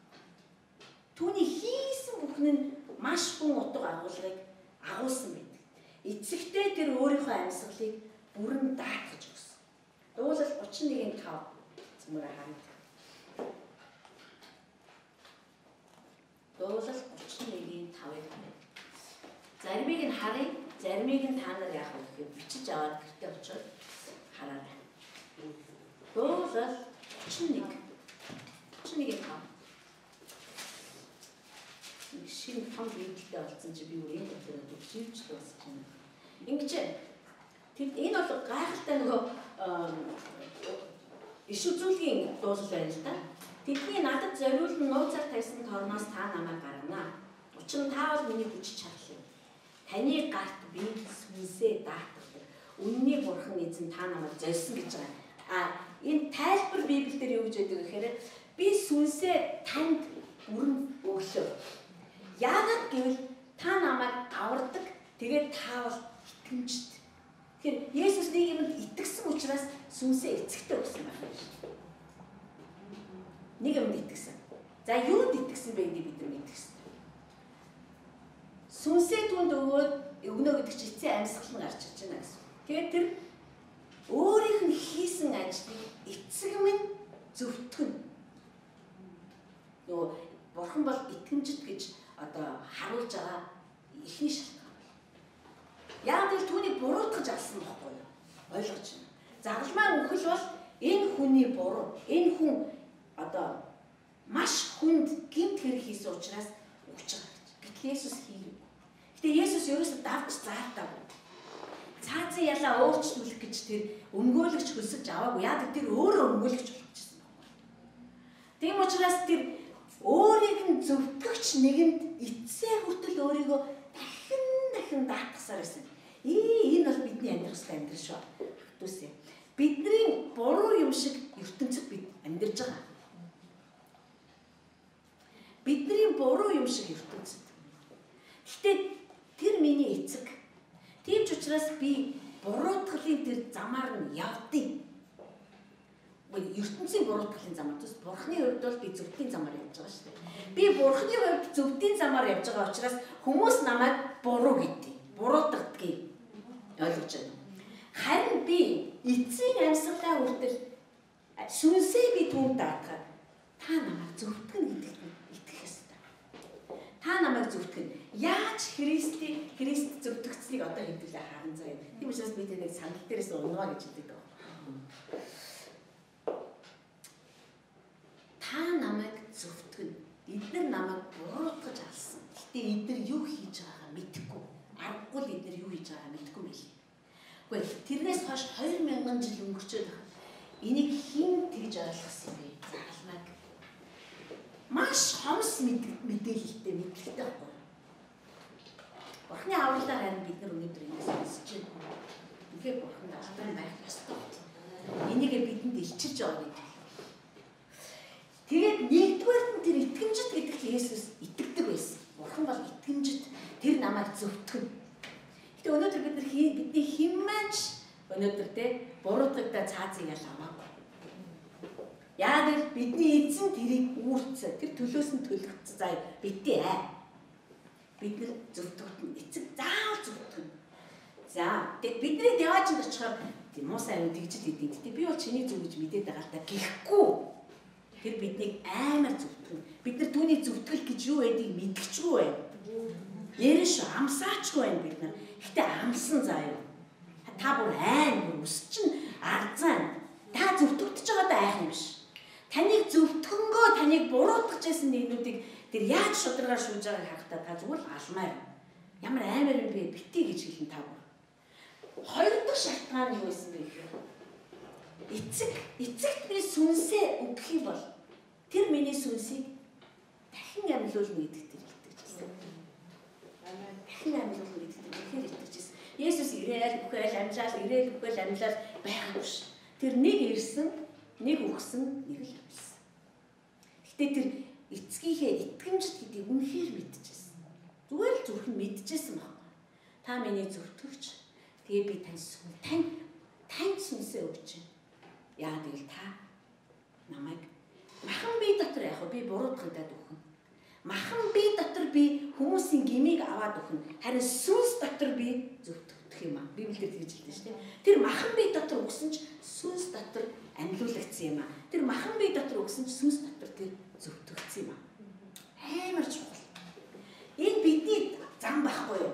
Бидний бидний алхаж яваа зам нь ийм. Ерөөсө замын маань чанар юм Бид нар ерөөсөө түүний зөвтгөлийг хүлээдэг хүмүүс учраас бид нар түүний зөвт гэж дуудагддаг нэгнүүд нь учраас хороо бидний буруутгад энд ерөөсөө гайхах байхгүй болчих. Яг л Есүс дагалдагч нартаа хэлсэн шүү. Яг үүндээ тэд нар та нарыг үнцэн ядаад байгаа биш ээ. Намайг үнцэн ядаж байгаа. Чи миний хүчраас чи өртчөөд байгаа байхгүй. Гэтэ зүгээр эцэг ит хоёр ирээд орон гэрээ хамтдаа байгуулна. Тийм л учраас хэрэг бид нар тэр хүмүүсийг уучлал тэр хүмүүс тэнд уучлаа. Хэрэг бид нар эс уучлал тэр хүмүүс уучлалыг үзэхгүй. Тийм л одоо тавил хол тавилантай. Тийм л амьдралтай хүмүүс аахгүй бид нар. Тэгэхээр хоёр шалтгаан байна тийм ээ. Нэгдүгээр тэр намайг зөвхөн Эдгээр би буруутгагдаад хүж байгаа ч гэсэн. Хоёрдугаар би өгч байгаа ч гэсэн тэр намайг дахин амьлуул. Мэдээд байгаа. Ингээд тэр эцсийн амьсгалаа авсан байна. За одоо сонирхолтой болж байгаа. За хүн насвараад эцсийн амьсгалаа гаргаад тэгээд бидний мэдхгүй ертөнцүүд рүү явдаг. Аа маш олон Христэд итгэгч нар тэгж боддог юм байна Надаас бол нэг байна хоёр хүн асууж ирсэн одоо би ч яаж мэдэх вэ? Би мэдэхгүй л гэсэн л дээ. Юу гэж асуусан бид тэрд бол итгэдэггүй юм үндэ. Тэгээ Библи хаана тийм гэж юу сайн мэдгүй. Тэгсэн чинь энэ хичээлийг бэлтжиж байж байж байгаа. Бид нар Библийг анхааралтай уншдаг л харгаа шүү дээ. Тэгсэн чинь хүмүүс ингэж асуудаг. Гэхдээ ингээ өгчгэр зэргийн завсан ертөнц байд юм биш үү? Ойлгож байна. Одоо та хэд үл үзэгдэх ертөнцийн тухай ярих гэж байна. Одоо мөнхийн ус хам байна. Тэр дунд нь завсрын ертөнц байгаад байгаа юм шүү. Итгэдэг хүмүүс ингэж ярьж байгаа. Тэгээд ингээ хүн өгчөөд энд ингээ байгаад одоо биш тэг хэсэг хугацаанд одоо хүлээн авах шиг, эмнэлгийн хүлээн авах шиг. Тэгээд нэрэ бодоод үзвэл бас тийм байж магадгүй юм шиг. Гэтэ Библи бидэнд тийм мэдээлэл өгөөгүй байхгүй гэсэн тийм. Хүлээлгийн ертөнц байхгүй. Тэгэхээр Христ нас барна гэдэг чинь эцсийн амьсгал авна гэсэн үг. Тэр хүний дотроос сүнс алга болж штэ. Одоо зүгээр махан биел. Яг тэгээд амьсгалаа гаргахтаа тэр сүнсэн биетэй болж байсан. Ойлгож байна. Махан биений залмай дээр гэж байгаа штэ. Одоо бол Христийн өөрийнх нь оршин байгаа оршихуйн сүнсэн бие болчихж байгаа. Үл үзэгдэх, үл үзэгдэх сүнсэн бие. Сүнслэг бие болчихж байгаа. Тэгээд тайцсан бай гэхээр тэр доош одоо одоо энэ газар гэж бодъё л та. Одоо энэ дэлхий гэж бодъё л та. Доош навс тэр одоо дэлхийн цөмрүүч цөмрүү явсан гэж ярьдаг. За цөмрүүч нөгөө ямар ч байсан доошоо явсан. Тэгээд тэр хаана утсан бэ гэхээр хүн бид нар итгэдэг штэ ер нь бол бид хүн нас ормогц бурхны өмнө очдог гэж. Харин Есүс бол нас ормогцаа Түүнээс өмнөх хуучин гэрээний Есүс Христээс өмнөх заяа. Есүс Христ гэдэг нэг хүнээс өмнө нас барсан бүх ариун итгэгч хүмүүс хаашаа явдаг байсан тийшээ явсан. Тэгэхээр тэрийг Библи юу гэж хэлдэг вэ гэхээр Авраамийн өвөр гэж нэрлэдэг. Авраамийн өвөр. Авраамийн өвөр а үхэгсдийн орон хоёр газар дээр байдаг байсан. Ийм англаар ч юм уу одоо хоорондоо хүрч болохгүй юм одоо оршихуугаар. Тэгээ энэ нь болохоор зэрэг үхсдийн орон гэж нэртэй. Энд болохоор ёс бусыг үйлдэгчд болоод Христийг эсэргүүцэгч, Бурхныг үл оошоогч, басамжлагч, доромжлагч, диаволын одоо ажиллагааг илд дэмжиж амьддаг байсан итгээдүүд ийшээ ордог байсан. Нас бараад шууд ийшээ ордог байсан. Харин бүх ариун итгэгч нар хайчдаг байсан бэ гэхээр Авраамын өөр буюу Диваажин л очдог байсан. Гэхдээ хоёулаа газрын дор байдаг байсан. Гэхдээ эндээс ийшээ өрөх зам байхгүй, эндээс ийшээ очих зам байхгүй. Гэхдээ би бинийг харна. Одоо одоо зүгээрээ тэр харъя. Харъя ишлийг харъя л да. Мм. Хэдүүлээ өнөөдөр энийг ингээ ойлгочиход тэгээ бид нар өнөөш нь аюу гой унтах гэдэг байгаа байхгүй. Тийм. Аа Лук 23-ийн 43 За, Лук 23 дээр очие хэдүүлээ. Лук 23 дээр юм байж байгаа.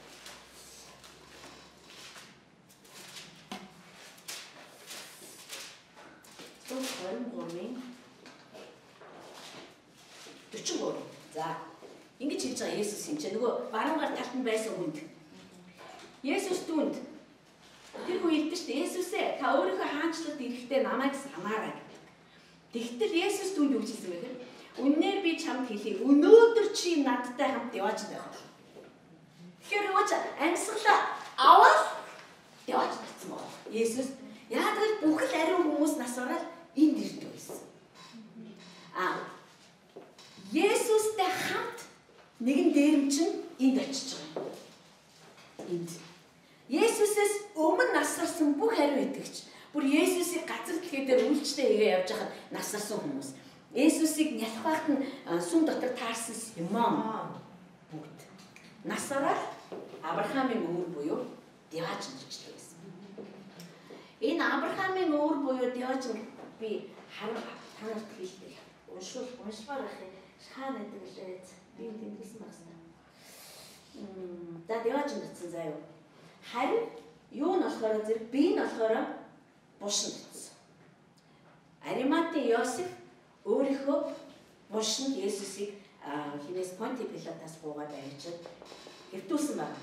За Лук номын 23-ын 50-аас 53-ыг тэмдэглээд авчих. 23-ын 50-аас 53. За энэ Йосефийн тухай бичсэн байгаа шүү. 50-аас 53. Дараад нь 1-р Петр 3:18-аас 19 гэд бас тэмдэглээд авчих. 1-р Петр 3:18-аас 19. За энэ дээр юу байна вэ? 18-аас 19. За энэ дээр чи ч байж байна. Учир нь Христ ч нэг удаа нүглийн төлөө өгч зөвхөн зөвхт бусыг орлсон юм аа. Орлсон те нөгөө дээр нь чин бараа би орлоо эцтэй. За энэ нь биднийг бурханд арайчихын тулд болоо. Ер нь бол тэр дээр нь чин чин бид нар ахгүй юу? Уул нь бид нар цогцолдох хэрэгтэй байсан шүү дээ. Тэгтэл Есүс түүнийг болиулаад өөрөө оронд очсон байхгүй. Зөвхөн тэр бараа цаашаа яаж амьдралыг бурхан л мэдэх байх та. Ингэхдээ махан би дотор тэр үхээд сүнс дотор амьлуулагдсан. Тэгэхээр ойлгож байна уу? Есүсийг алцаа загламаа дээр. Тийм ээ? Есүс нас орсон. Нас оронгуудаа сүнсэн бид орсон. Үхсэн гэсэн үг бол биш. Та тэр ч үхэхгүй шүү дээ. Мэдгүй дээ. Энэ бие бол яалтч үхэн яа гэвэл Бурхны хаанчлалт бид энэ биеэрээ явах боломжгүй. Шин бие бидэнд хэрэгтэй учраас энэ биеийг бол бид нар тэгээд шоронд нүгэн шүү дээ тийм ээ. А Есүс өөр оршихуй дотор орсон. Сүнсэн байдлаараа сүнсэн оршихугаараа тэр Авраамийн өвөр дээр байсан. Та нар нэг ядуу гуйлагч Лазар баян хүний үлгэрийг санаж байна уу? Ядуу гуйлагч нь нас ороод Авраамийн өвөр дээр очив. Нөгөөх нь нас ороод үхэгсдийн оронд очив. Тэгээд тэр үхэгсдийн орноос Авраамийн өвөр дээр байгаа Лазарыг хараад хүүе Энэ Лазар энд ээждэг яана. Хүүе би гэрлүүгээ хинд энийг хэлмээр та намайг тийш найрч болохгүй юу гэсэн чинь хийж хурж очиж гатчих чадахгүй ийм зай энд байгаа юм гэж хэлсэн. Тэгэхээр тэр чинь нөгөө үхэгсдийн оронд очсон нэгэн чинь энийг хараад байгаа байхгүй юу? Хүүе гэд их сонин ертөнц энд байгаа даа. Боломжгүй гэдэг байхгүй. Үгүй боломжгүй. Чи эндээс ийшээ очих боломжгүй. За тэгвэл дүүрч Би ядаж дүүнэрэ инчээ гэж би энд авцирмаар биш. Хин нэг нэг явуулаад өгөөч гэсэн. Гэхдээ би зөндөөхөн явуулсан. Та нар юусээс сонсоогүй. Тэгэхээр одоо яалтж байгаа. Тэгэхээр энэ орсонд бол ямар ч тэр дундын орон зай гэж байхгүй. Ийм шиг, мэм шиг бүх юм энд таслагдчихж байгаа. Тэгэхээр сүнсэн биеэрээ Христ Авраамийн өвөр буюу Диваачн руу хамгийн их очсон.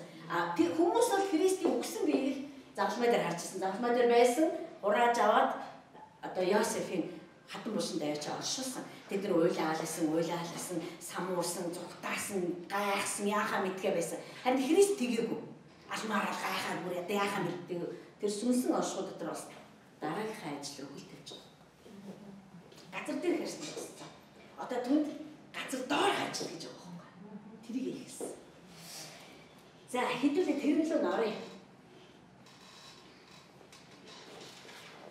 Хэрвээ түүний газар дээрх ажлуудыг хүн энэ хоёр нүдэрээ хатдаг байсан бол газар доорх ажлуудыг зөвхөн сүнс бидэнд илчилж өгөх боломжтой. Яа тэгэл тэрийн чинь ямар тийм ээ боломжгүй байхгүй. Тэр сүнс бидэнд илчилж өгнө. Гэтэ энэ та нарт их тийм амар ойлгомжгүй биш байгаа. Тийм ээ бид нар бол ойлгож байна. Гэхдээ энэ илүү илчлэлт болж надад орж ирэх ёстой шүү. Тэгээ миний оюун санааг бүхэлд нь одоо эзлэх ёстой шинжлэх хэрэгтэй эзлэх жоо шинжлэх хэрэгтэй. Тэгэх юм бол бид нар өнөөдөр Христийн итгэвчлэлтийг ойлгоо.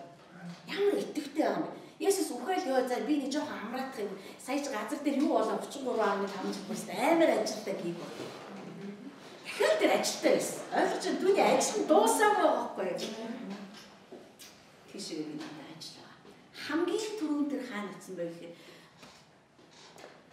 одоо нөгөө еврей номын 11 дээр байсан зүгээр тэр юм биш. Еврей номын 11 бол сайхан дуу нэр. Тэр хараг. Еврей номын 11 дээр ингэж хэлсэн байна.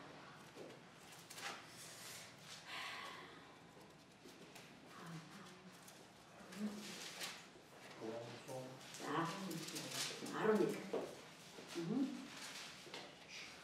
Ингэж Би бас юу ярих вэ? Хэрэг би Гидеон, Барак, Самсон, Ефта, Давид, Самуэль нар хаанаас байх нь вэ? Бүгд ингэж. Бидний уншсан бүх хүмүүс заяа. Болон иш үзүүлэгчдийн тухай яриул надад цаг хүрэлцэхгүй та бодооч. Тэд Давид, Самуэль, Самсон тэд итгэлээр хаанчлуудыг эзэлж зөвхт байдлыг үйлдэн Авраам байсан байх нь бас байсан л ах биш тийм үстэй.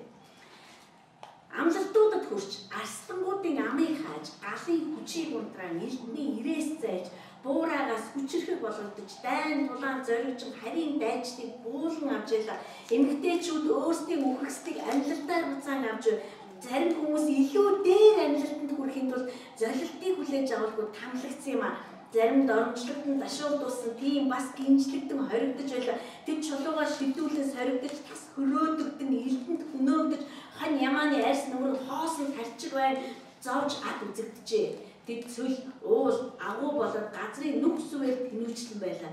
Тэдний хувьд дэлхий зохисгүй ээжээ итгэлээрээ тэд бүгдээрээ сайн гэрчлэлийг олоод амлагцлыг хүлээн аваагүй юм аа Яагаад гэвэл бурхан бидний төлөө илүү дээр ямар нэгэн юмыг урдаас харж байсан. Ингэснээрээ тэд бидэнгүүгээр төгс болгодог ёсгүй юм.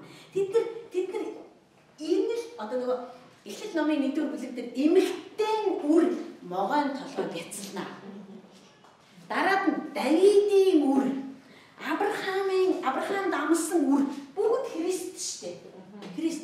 Тэд нар тэр Христийг хараагүй гэсэн байхгүй Бид нар холоос гар даллаад нас барсан. Итгэл дотроо тэд нар өгсөн. Тэд нар итгэжсэн. Тэр амлалтын үр ирнэ гэж итгэжсэн. Гэтэ бүгд дэлхий тэр чирээ тэдний буруутгаж байсан. Хамгийн ихний хохирогч буюу хамгийн ихний Авраамын өвөр Диоч нь одоо гэдэг ресортод ирсэн хүн хэн байх вэ? Абель. Абель. Түүнийг тэр буруутгал дотор өгсөн. Тэгээд тэр Авраамын өвөрлөө ирсэн. Харин цусан газрын гадаргуугаас дээшээгээ шудраг ёсыг тогтоогооч ааваа гэж хашгирч байсан. Тэгээд хамгийн сүүлийнх нь Есүс нөгөө 10 гар талд нь цовдлогдсон хүн хоёр байсан. Энд ирж байгаа байхгүй. Тэнгүүд та бодлоо. Абела чи зөвтгөгцөн. Яа тэгвэл би нэ бүгд нөгөө Христийг харж байгаа байхгүй юу? Аа, станэрэ. Тэ Өста байдаг, тэр байдаг, тэр байгаа зогсгүй тэр амийг өгдөг. Би нөгөө энд ч одоо яа байш. Миний аврагч амьд гэдгийг би мэднэ. Аа яа яа яа яа. Түүний аврагч амьд гэдгийг тэр мэдчихсэн байхгүй юу? Бус нь бүгд мэдэхгүй байсан. Үгүйсгэж байсан бүр. Гурван найз хаана байгааг би мэдэхгүй. Тэр хүмүүс тэр очиж байгаа. Та нар юу бол төсөөлдөг? Авраамын өвөр гэдэг газарт юу болох вэ? Оо, өстө бүр магтаал, хүндэтгэл, халелуя, хосаана, тийм байлгуудыг тех ёстой, та ирэх ёстой. Хөө, Есүс газрын гадар дээр хийсэн юм а хэвдэж байна. Христос Та нар хит юм итгээгүй. Би энэ би байна ой гэд. Сүнсэн аршуугаар очиж мэдгэцэн. Бөө мэдгүй. Зүгээр төсөөлье. Бүр бөө хашгираа тэ өвдөг сүрдөлстэй нэр бүгдээрээ Давид, Мавид одоо Самуэль одоо хин бэ бидний бүх мэдэх хатрууд. Амар юм болж байгаа шүү дээ чи Авраамын өвөрд найруулж эдгээр харж байгаа юу? Харж байгаа. Эдгээр харж байгаа. Хараад зүгээр хараад юм гоё юм те эднийхс амар пати хийж байгаа. Эднэр бодох гэж байгаа. Та нарын буруу байсан.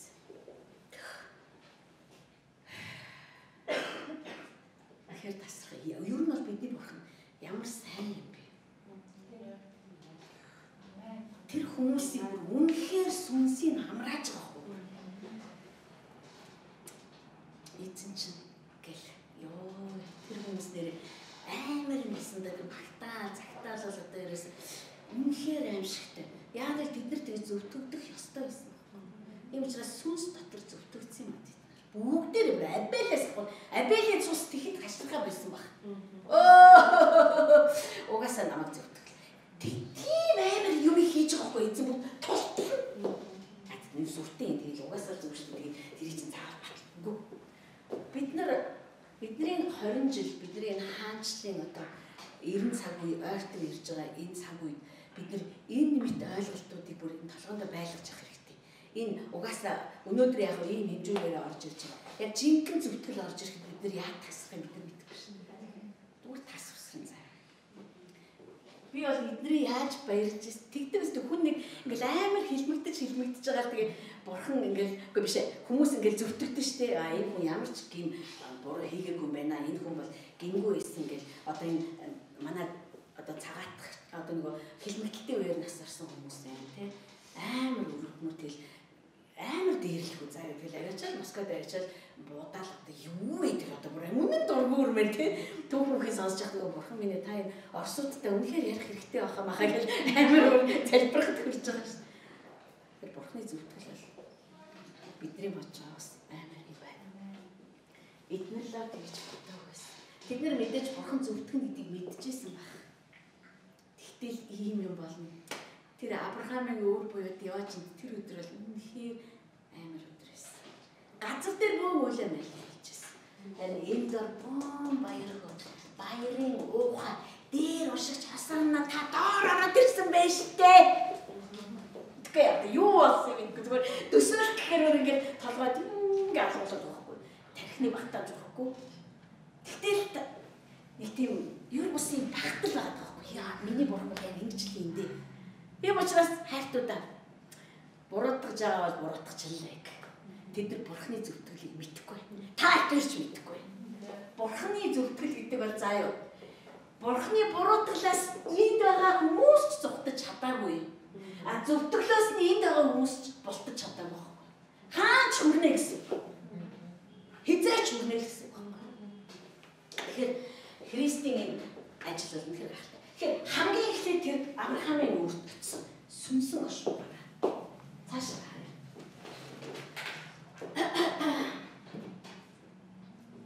Та нар энэ дээр Лук номын 16-гийн 23-ыг бичиж авчих. Нөгөө Лазар баян хүний түүх байгаа. За. Бас Еврей 11-ийн 13, Еврей Еврей 11-ийг та нар уншаарай. Бүгдийг. Тэгэхээр штэ энэ юу дотор Авраамийн өөрт юу болж ирсэн бэ гэхээр бүгд нэг зөвтгөл дотор орж ирсэн. Христ тэр тэнд байгаа бүх хүмүүс нэг зөвтгөл дотор нэг амьлалт руу орж ирж байгаа шүү дээ. Хараахан амьлуулдаг байгаа та Иесус Иесус одоо би шууд очсон байгаа. Гэхдээ яг нэг нэг дахин амьдлууд руу орчиж байгаа. Нэг зөвтгөлийг цагаатгал. Яа, үнэхээр илчлэг ном дээр ш. Аа, дахин ширээн дээр байгаа сүнслүүд эзэн минь та биднийг зөвтгөөч гэж хашгиралдаж байлаа. Тэгэхээр тэгтийгээр бид нар Авраамийн уурт очисон ч гэсэндээ зөвтгөл заавал ирэх хэрэгтэй. Энэ хүмүүс эзэг байсан юм. Энэ хүмүүс хөрөөдүүлж өгсөн, энэ хүмүүс зугтаж өгсөн, хонь малын айс нөмөрж исэн, хоосон ядуу амьдарч исэн тарчиг байсан, хад үзэгдэж байсан, шоолдорлогдож байсан, цаацлуулж байсан. Гэхдээ л энэ хүмүүс амьд юм аа. Үгүй зүг байсан юм аа гэд тэнд нөгөө нөгөө Христ нь өөрийнхөө бүр ингээд сүнсэн оршуугаараа ирсэн ингээд. Есүс бол биш биеэр очих боломжгүй те. Тэр үгсэн тэгээд сүнсэн байсан. Сүнслэг биеэр очих хэрэгтэй байсан гэсэн. За дараагийн газар та нараас яач төхөө. Еврей 11-ийг гэсэн те би 1-р Тимот 3:16 тэмдэглээд авчих та. 1-р Тимот 3:16 Ром 8:30 Яг миний яриад байгаа зүйл дэ чи холбогдож орж ирж байгаа шүү. Нэгдүгээр Тимот 3:16 18 учраа. Хоёр дахь газар.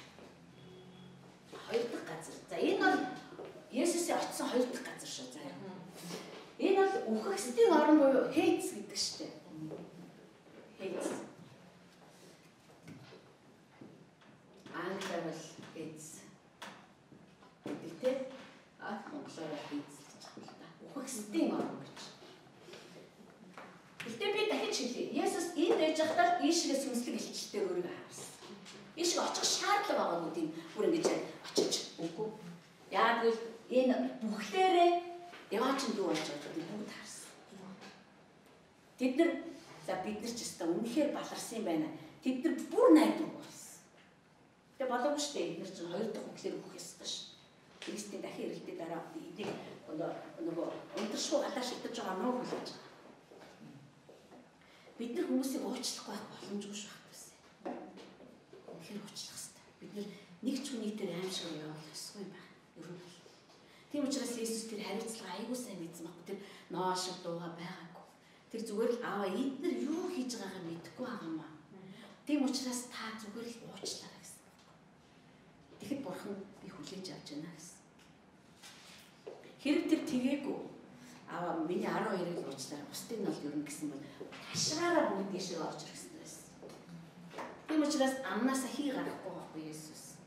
Юу хийж байгаагаа эдгээр огт мэдэхгүй байгаа. Тэр тийм тийм зуучлагч, тийм өмгөөлөгч болох хэрэгтэйсэн байхгүй Есүс. Хоёр дахь газар нь бол одоо хейц буюу үхэгсдийн орн байсан. За, энд ямар хүмүүс байсан бэ гэхээр Есүсийг гортог байсан. Есүсийн гэсэн хүмүүсийг эсэргүүцдэг байсан. Бурханлаг хүмүүсийг эсэргүүцдэг байсан. Бурханлаг үр төрөн гарахыг эсэргүүцдэг байсан. Тэр амлалтын үрийг таньж мэдхийг хүсдэггүй байсан. Сонгогдсон хадыг үргэлж буруу шаадаг байсан. Ийм хүмүүсийн сүнслүүд энд амьдардаг байсан. Юус. Бурханлаг гэх бүхнийг эсэргүүцэж, доромжилж одоо голж, басамжилж ингэж байсан хүмүүс энд очсон байсан. хамгийн одоо Христийн үхэлтэй зэрэгцээд хамгийн сүүлдийн оцсон гэхэд зүүн гар талын цовдлогдсон юм байна шүү. Тэр очиж байсан. Хамгийн ихнийх нь болохоор одоо Каин маяг гэх охин болов. За тэгж нэрвчж орооч явах тийм хэн байсан бидүүд их тийм амар чухал бол биш. За дараад нь энэ дээр та нар ийм ишлэлүүдийг бичиж авчих. Мата 13 дугаар бүлгийг юу нь унш. Эндээс онцгойлоод 42 50 42 дугаар ишлэл 50 дугаар ишлэл дээр яг энэ дугаар чинь байж байгаа. Мата 13 13-ын 42 50. Мата 8-ийн 12. Мата 8-ийн 12. За. Дараагийн очисон газар. Болоо болоо болоо. Бидний эзэн чинь нэр үндэл тусгын уулсан юм билээ шүү дээ. Ерөөсөө үндсэндээ дараагийн 3 дахь газар гэж бас байна. Тэгээ эн чинь бас Библиэлд байна бид нэр э, аргагүй нөгөө нэг сүнслэг ойлголт байхгүй гэж. Энэ газрыг Тартарус гэдэг гинэ. Тартарус. За энийг яг бид нар тар Тартарус энэ одоо Монгол энэ нэртэй Тартарус. За.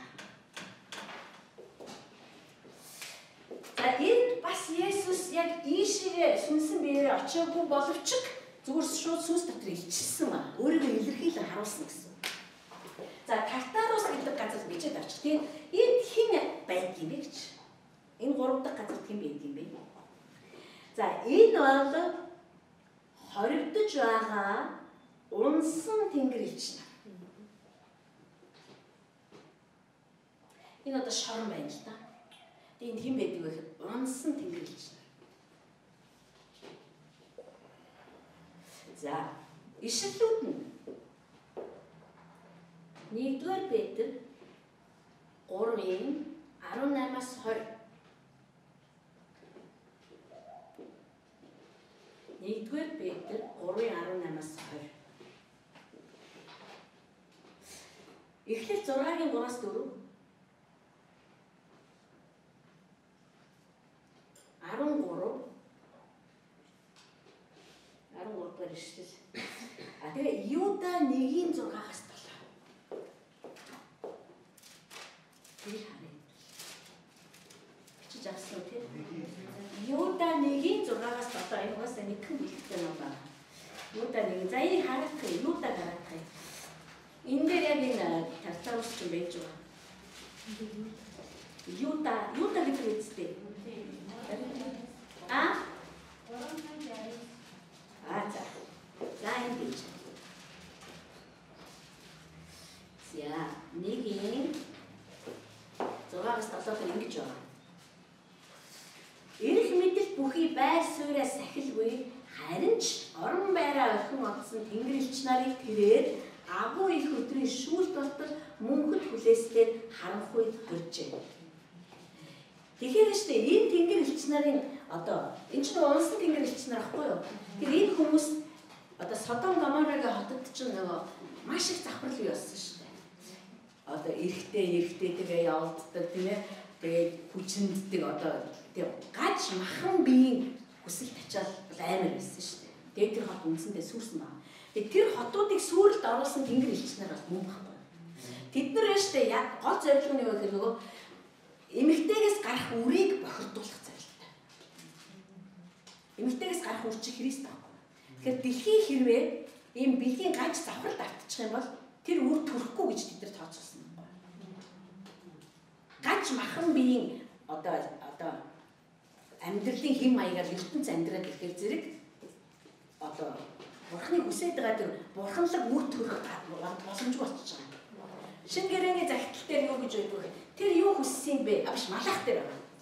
Тэр юу хүссэн бэ? Чамаа чи битээ ихнэрээсээ сал гэж хэлдэг ш малах дээр. Эхнээсээ битээ сар. Яагаад гэвэл би бурханлаг эр им хоёрыг нэг гэр бүл болгосон. Шалтгаан нь бурханлаг үр удмыг би хүсдэг юм гэж байна.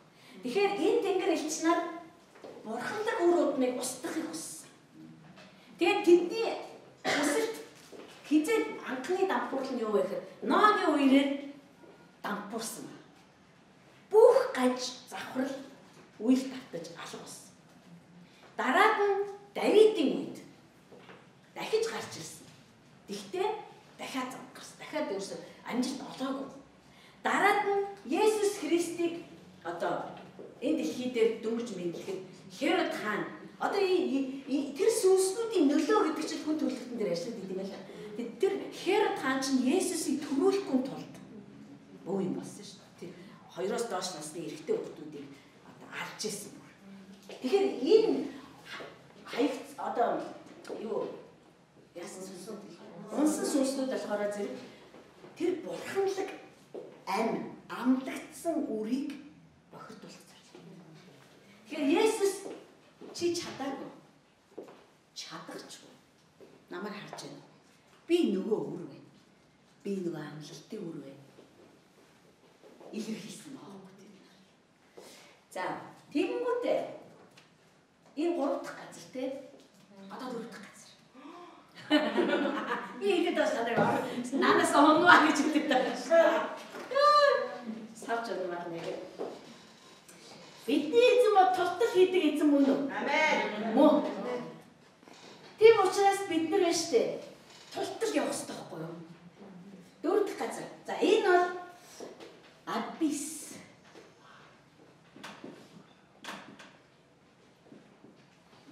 Абис буюу Яраалгүй нүх, яраалгүй нүх. Яраалгүй хүн харанхууч гэж байна. Абис буюу яраалгүй хүн харанхуй. За түр тийш авах өмнө тартарус хоригдож байгаа хоригдлуудын талаараас энэ хоригдлууд унсан тэнгэрлэгч нар тийм. Тэгээ эдгээр нь штэ. Тэр үрийг бохирдуулахын тулд тэд өөрсдөд өгөгдсөн байр суурь өөрсдөд нь өгөгдсөн байсан бие орхисон байна Тэгэж хүний огттой завхаарсан байна. Ойлгож байна. Тэнгэр элч нар чинь нэг байр суурь байсан шүү дээ. Тэд нар тэрслэгтэй байр суурь орхисон. Тэд нар байр суурь орхиод зогсохгүй зорилгоо гүйцэтгүүлэхэд тул тэд нар хүний биеийг хайж эхэлсэн. Тийм учраас Нефилим авраг биетэй хүмүүс нутгаж хүний огтуудыг аваад тэднээс хүүхдүүдийг төрүүлдэг гэсэн юм байна. Дандаа зорилго нь За. Тэгэхээр Абис буюу ёроолгүй гүн харанхуйд очсон. Есүс. Очсон гэж одоо бас тэнд илэрхийлсэн маа. За энд юу байна вэ гэхээр За энийг бичээд авчихыг хэвлээ. Христ зарламайг цовдлогдохын өмнөх үед шийдэгдэн хоригдсон тэнгэр элчин гинэ. Христ зарламайг цовдлогдохын өмнөх цаг хугацаанд шийдэгдэн хоригдсон тэнгэр элчин. Өмнөх цаг хугацаанд шийдэгдээд хоригдсон тэнгэр элчин. Тэгээд хэдэн оюун Христ үхэхээс хэдэн жилийн өмнө энэ мен дээр бидний фокус байхсгүй зүгээр ингээл авчих цааш бид нар дулан болон юм илчлэгдэх байлгүй өвөөгийнхээ илчлэгтэнд итгээд тэгээд ингээ хүлээгээд авчих. Христ цавдлагдахаас өмнөх цаг хугацаанд одоо хоригдсон бас л унсан тэмдэглэж байна. За тэдний зорилго юу вэ гэхээр бурхан тэднийг зорилготойгоор харж байна. Энэ абис дотор харагдаж байгаа унсан тэмдэглэж нар шүү дээ. Одоо эцсийн өдрүүдэд аа Есүс Христ дахин хоёр дахь ирээд ариун хүмүүсээ аваад тэгээд одоо нөгөө зовлонгийн 7 жил болно гэдэг. Библи илчт ном дээр аваа. Эцсийн өдрүүд дээр дэлхий дээр шүүлт буун гэж бас бурхны шүүлт. Тэр шүүлтийн үеийг бид нар соллогдно. Тэр хүртэл харагдаж байгаа. Бид нар. Өөрөөр хэлбэл эцсийн цагт тэд нар гарч ирээд Бурхны тэмдэг тавигдаагүй хүмүүсийг тарчлан зовоох зорилготой. Ойлгож байна уу? Илчилт ном 9-ийн 1-ээс 2 бичээд авчих. Түмөр энийг хараа. Илчилт ном 9-ийн 1-ээс 2. За, тав дахь тэнгэрч бүрээгээ татдаг тэнгэрээс дэлхийр унсан орныг би харав. Тэр одонд ёроолгүй нүхний төлхүүрийг өгсөн байлаа. Өнөө хот ёроолгүй нүхийг нээдэг. Асар том зуухны утаа мэд утаа нүхнээс гарав Нүхний утаанаас сууж нар агаар харагдгууллаа. За 5. Ингэж зөвхөн духан дээрээ бурхны тамгагүй хүмүүс болох юм. Тэднийг алахгүй харин 5 сарын турш тарчлахыг цагцаануудад зөвшөөрсөн байна. Энэ нөгөө нэг шийтгэл авч байгаа хүмүүс шүү. За юу. А Есүс болохоор зэрэг цусаараа бидний худалдаа тавьсан. А биднийг өөрийнхөө эзэмшил болгоод тавьсан. Тэгэхээр биднэрт хүч чадах харин хамахгүй бүх хүмүүсийг тарчлахыг бид нар сурлагдана юм биш. Энэ бурхан өөрөө ингэ төлөвлөөд хорцсон байхгүй. Эцсийн цаг бийж маань ашиглана. Ойлгож байна. Ийм зөвхөтэй гинэ. За. Илчит номын 14-ийн 1-ээс 5-ыг бас аа тэмдэглээд авчих. Энэ Альбис тавигдчихсэн хоригдлууд болохоор цусаар нь худалдаад авцсан. Сатаны харанхуй эрх мэдлээс чөлөөлөгдсөн хүмүүст очсон. Илчлэл номын 14-ийн 1-ээс 5. Басна. За. Одоо Есүс Христийн очсон эцсийн газар яа. Авдаг газар. За эцсих гэхээр зэрэг болж байна гэсэн. Харин энэ тав дахь газарт бол Христ яг энд сүнсэн биеэр очсон шиг сүнсэн биеэр очсон байна. За энэ газар ямар газар вэ гэхээр энэ тав дахь газар. За харъя. Энэ бол сатаны сэнти өөрөө оршдог. Сатаны жанжин штаб. Сатаны хаан хаан суудлын тэнд байт юм байна л да. Тэгээд жанжин штаб нь очдог. Тэгээ штэ. Есүс тэнд яагаад сүнсэн ашгуугаар заавал очих хэрэгтэй болсон юм бэ гэхээр одоо зөвмөр төсөөл одоо за их муухай зөвлөлт гэхдээ зүгээр одоо хоёгаа ингээд одоо сатаны сэнти байж. За би сүнсэн биеэр очие. Тэгэхээр хоёгаа Адамаас хулгайсан нэг юм байгаа. Тэрийг Есүс авах хэрэгтэй. Тэр зүгээр давхиччвал гэж аваад тэгэл явсан. Улааж аваад. Түүний эдэний цэцэрлэгт Адамаас авсан байр суурь гэж байгаа. Ирэх мэдэл гэж байгаа. Засаглах захиргаа гэж байгаа. Адам алдсан байхгүй. Тэгээ тэрийг үхэгсдийн үхэгсэд үхэх амба үхлийн түлхүүрийг тэр Адамаас булаагаад авцсан байсан. Есүс заавал очих хэрэгтэй байсан. Очоод тэр ингээл авах хэрэгтэй байсан. Зүг өчөх төхөө би нэг юм авах гэж ирлээ ч гэхгүй. Зүгээр л тэр авсан. Тэгэл одоо диавол түлхүүр болчих. Амба үхлийн түлхүүр байхгүй. Тэр түлхүүрийг авчаад Есүс хэлсэн ш. Надад тэнгэр ба газар дах бүх эрх мэдэл өгөгдлөө гэж байгаа ш. Яагаад Есүс тэгж хэлсэн? Яг л надад бүх эрх мэдэл өгөгдлөө. Дээр доор бүх эрх мэдэл гэж байгаа ш. Тимээс та нар одоо яв гэж байгаа. Нөгөө бид нарт өгөхийн тулд авсан байх ш. Сад баглаа. Бид нар тэгдэг үстэй. А бид нар бид нар одоо хаана ихтэй одоо дэлгүүр хошоонд ч юм уу автобусанд явж байгаа дайсан миний армаг ухаад юм юм аа би харъя эсвэх нэг хэлий. Бид нар яадаг уу яана уучлаарай өгчих төхөө гэдгүй шууд булаагаад авдаг шин. Чи ямар байлаар амьд мэ миний юм авчихтай. Тэгэл авдаг үстэй. Тэр амар зэвүүцээ бид нар тий. Тэр Есүс очоод зүгээр зүгээр л атсан баггүй.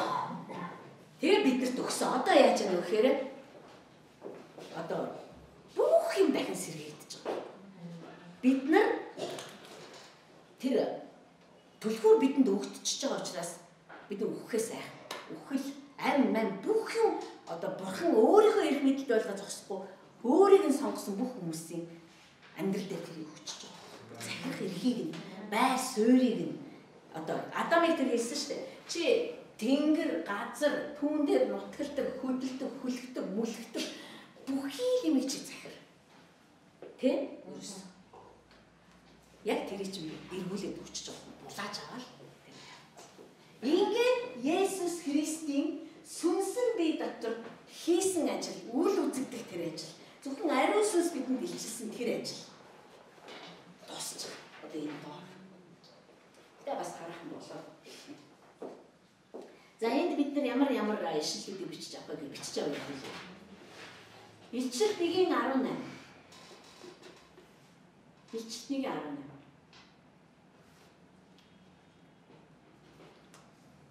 Ром 14:9 Матай 28:18 Матай 28:18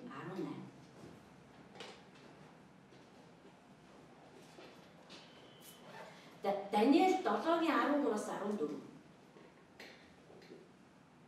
Даниэл 7-гийн 13-аас 14 Матай 16-гийн 64 16-ын 64 байна уу? 16-ын 64 байна. Хараад би шалгал.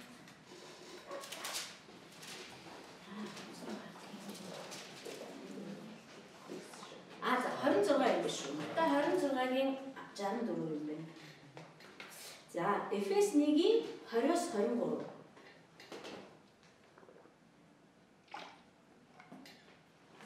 Эфес 1-ийн 20-оос 23. Филиппой 2-ын 9-өөс 11.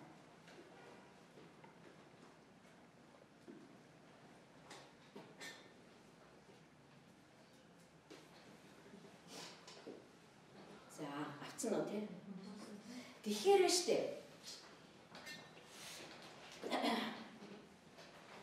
Адам болохоор зэрэг байр сууриа одоо бүгдийг засаглаж, захирч, зохицуулах эрхээ алдсан, мэхлэгдээд.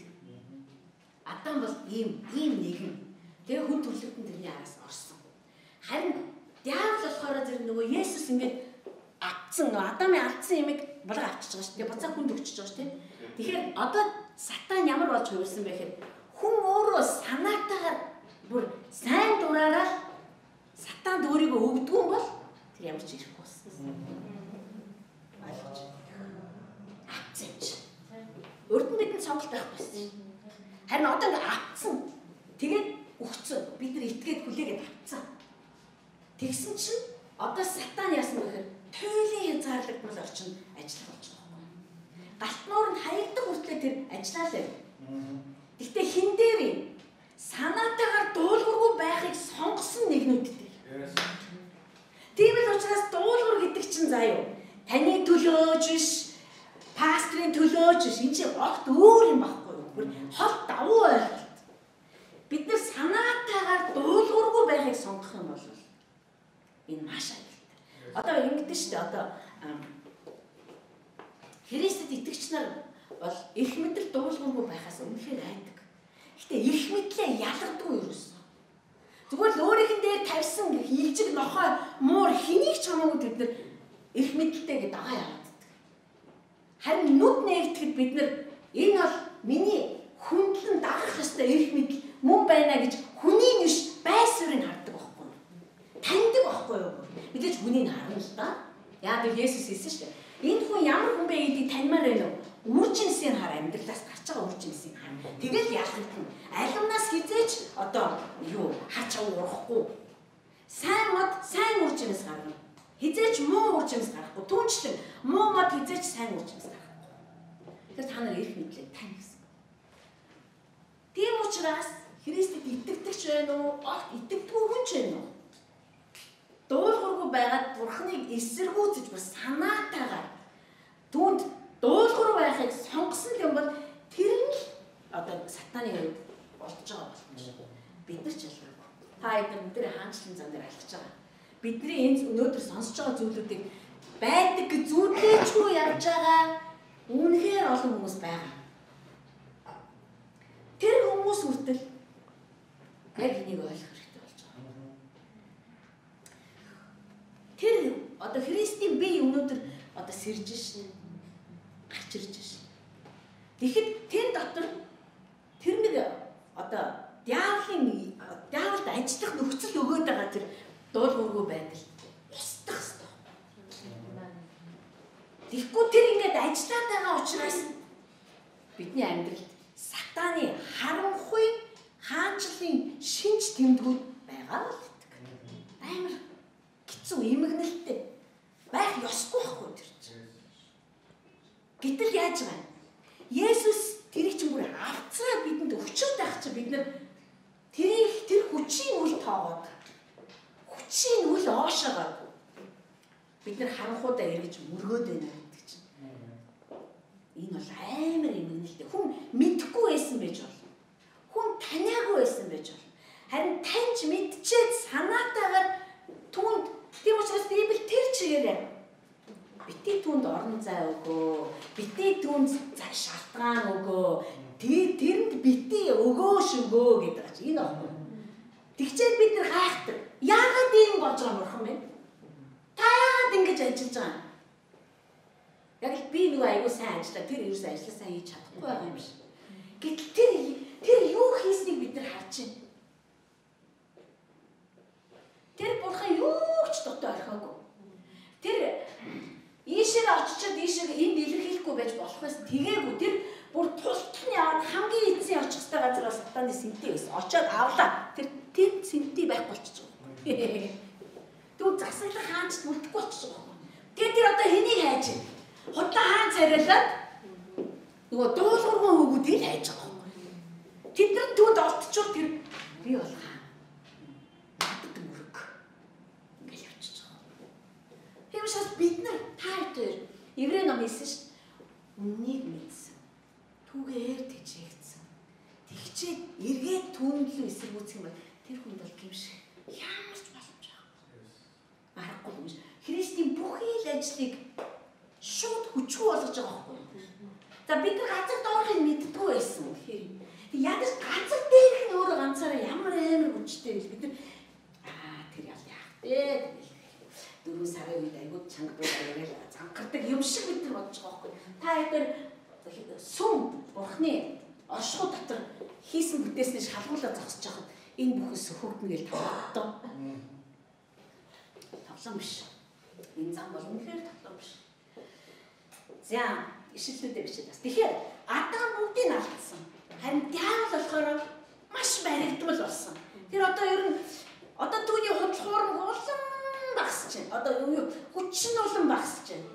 Амных нь амьсгал тоологдож байна. 1 2 3 4 гэл.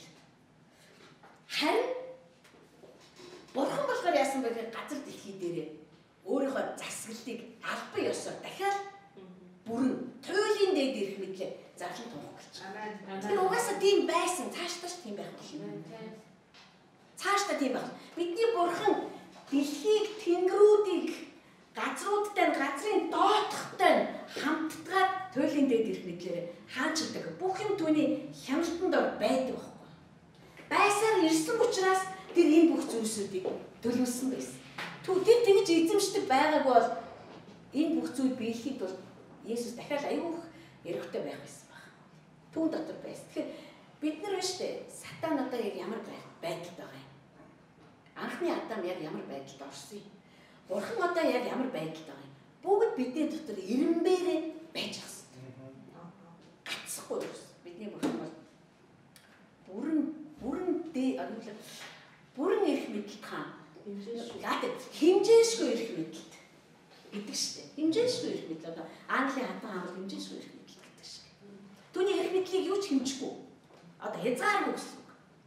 Гэтэ хүн төрлөختөнд тийм хаанчлал байхгүй. Зөвхөн бурхны хаанчлал төгсгөл байхгүй.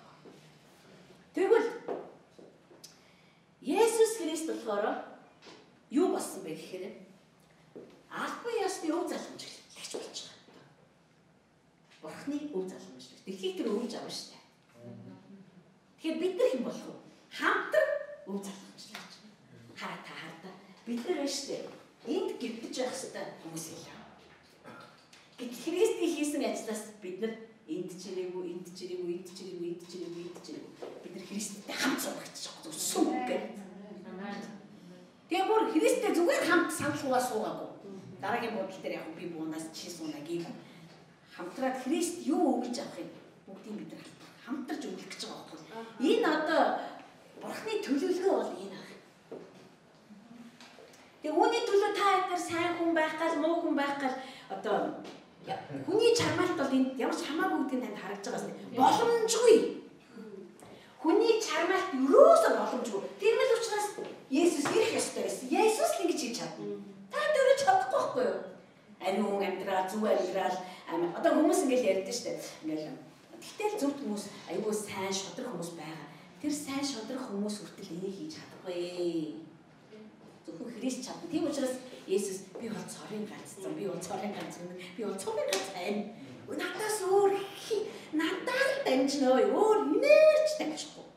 Бүр ерөөсөө амар экстрим одоо бүр ерөөсөө туйлын одоо юм хийчихэж байгаа.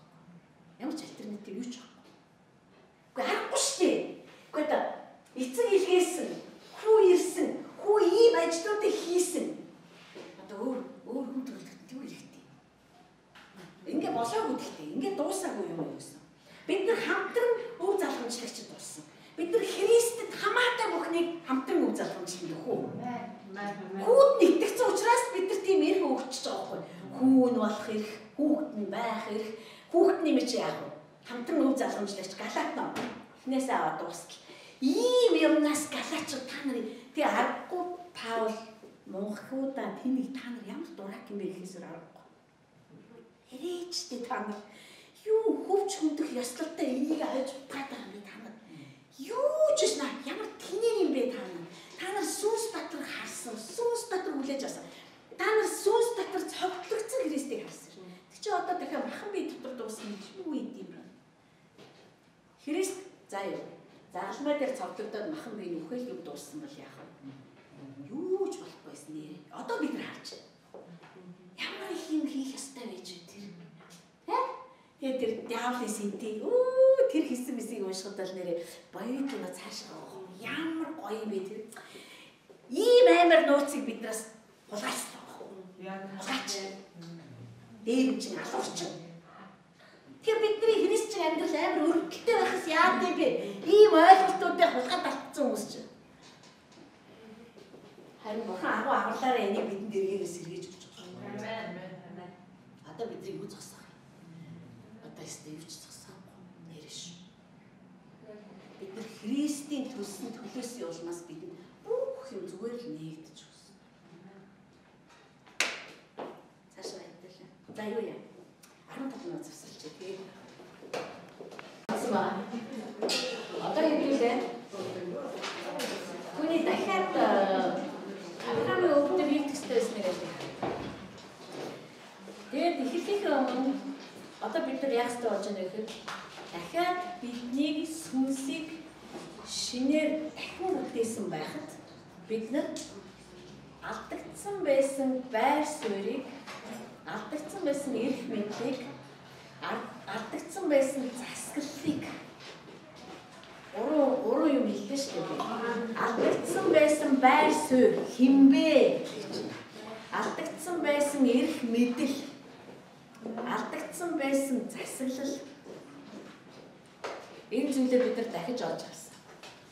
Тэгэхээр Адрын буюу сүнсэнд бид нар эннийг өөрт нь тавьж өгөөсэй гэсэн хүсэл өгдөг.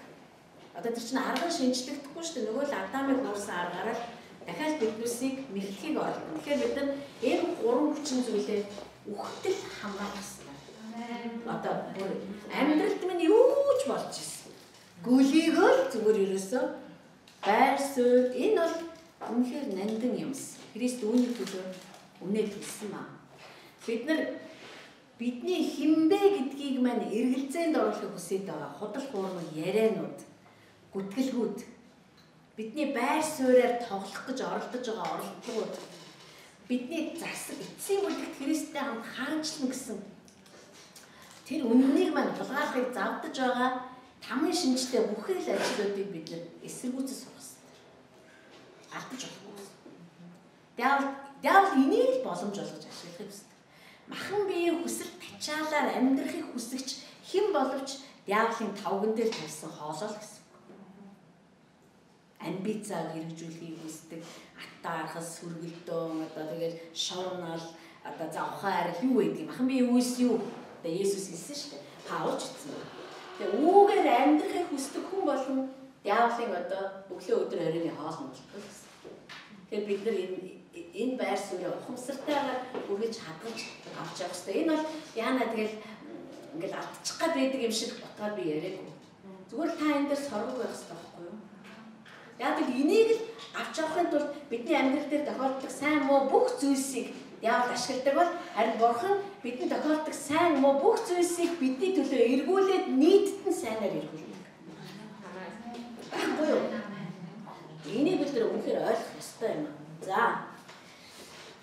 Цаашаа эдгээр ишлэгийг та нар бичээд авчаач. Миний одоо энэ яг ярьж байгаа зүйлстэй холбоотой байгаа шүү. Бичээд авчаач.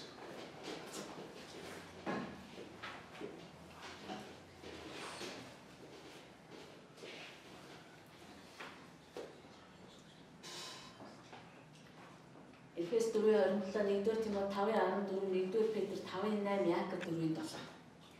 Тэгээд э, интернет радио дээр тавигдах нэг хичээлийг та нараас дахин дахин хар. Юуг ойлгохгүй үлдээсэн байна. Юуг одоо би дутуу орхисон байна, тийм ээ. Хүн хэмээн чинь бид нар бас алдаж одоо гээсэн байх штеп.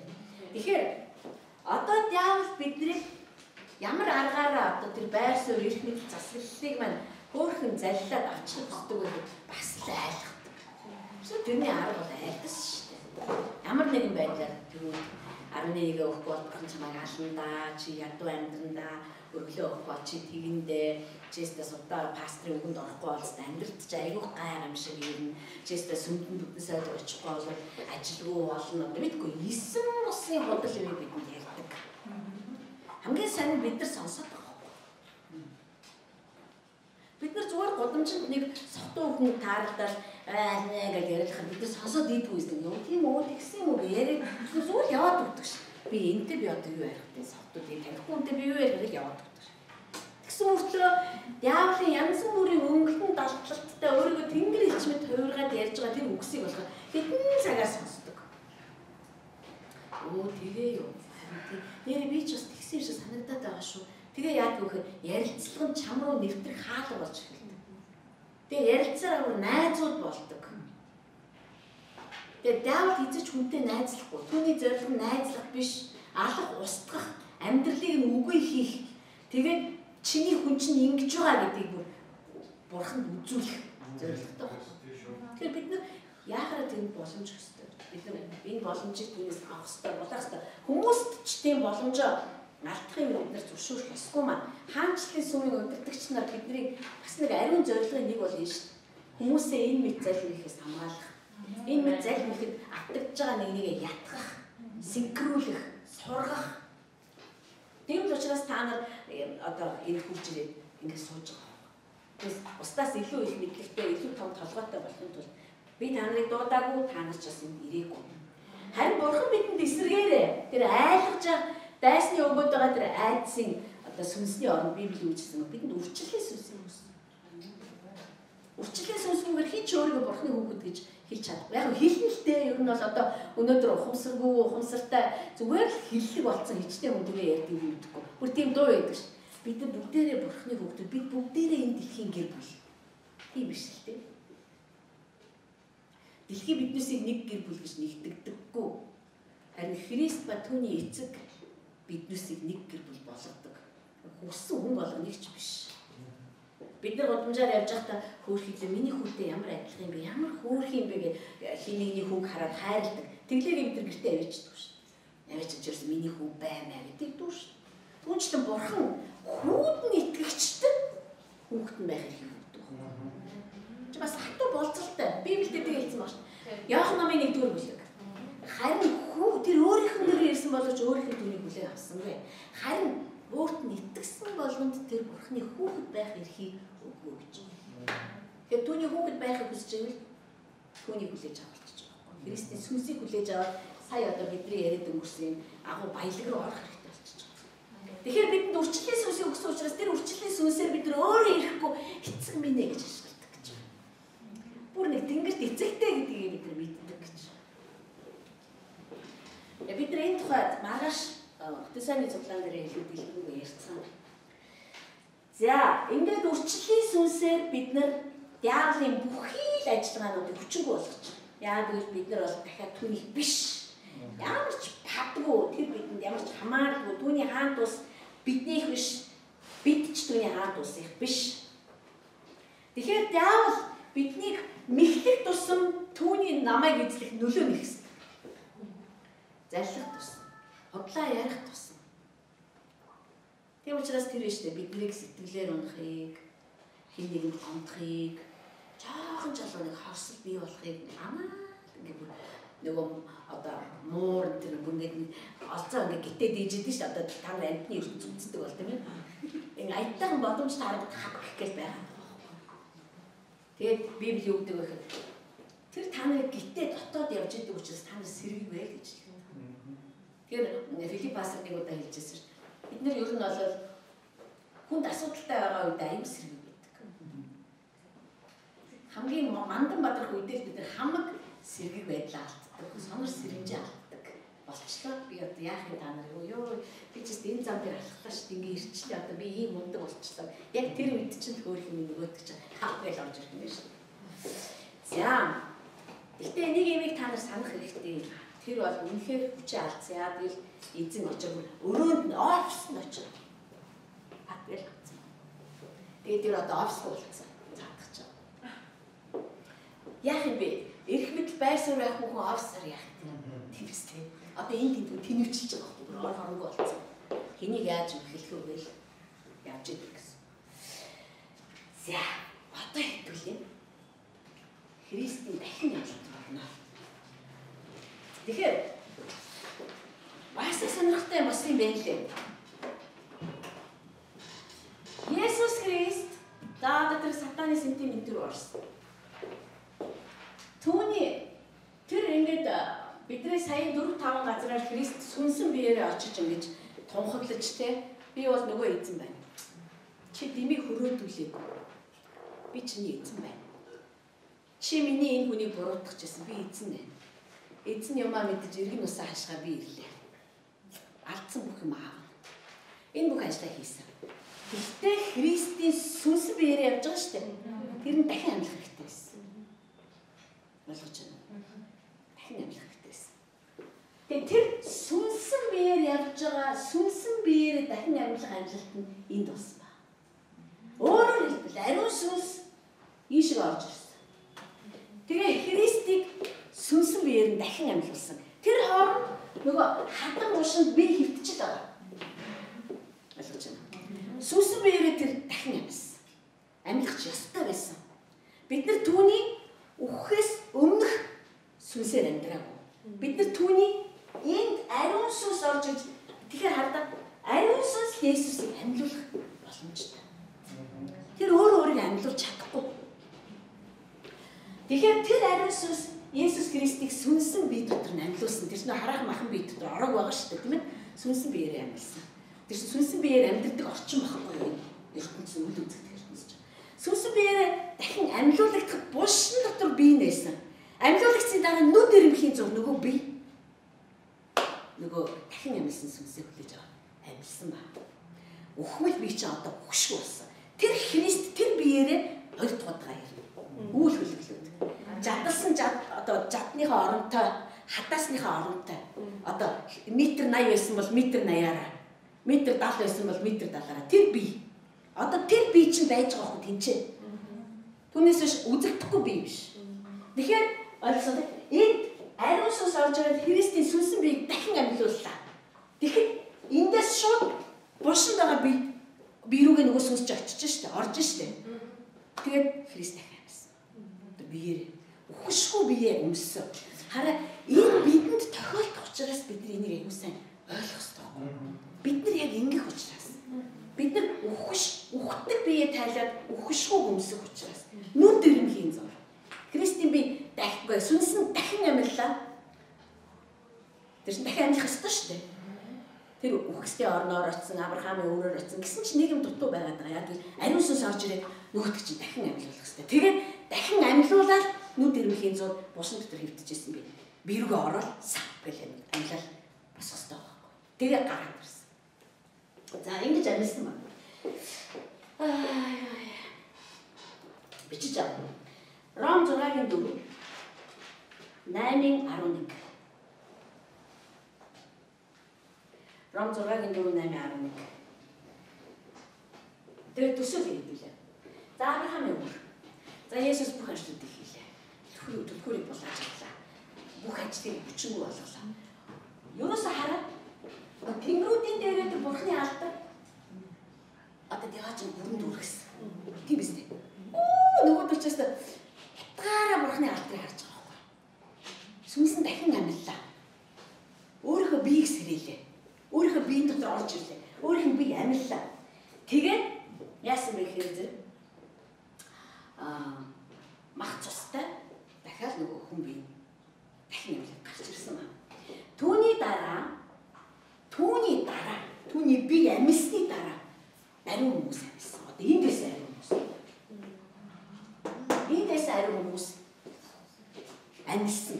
Үгүй бид нар бүр орж гарч байгааг Иерусалимд байсан хүмүүс харсан гэдэг юм л дээ.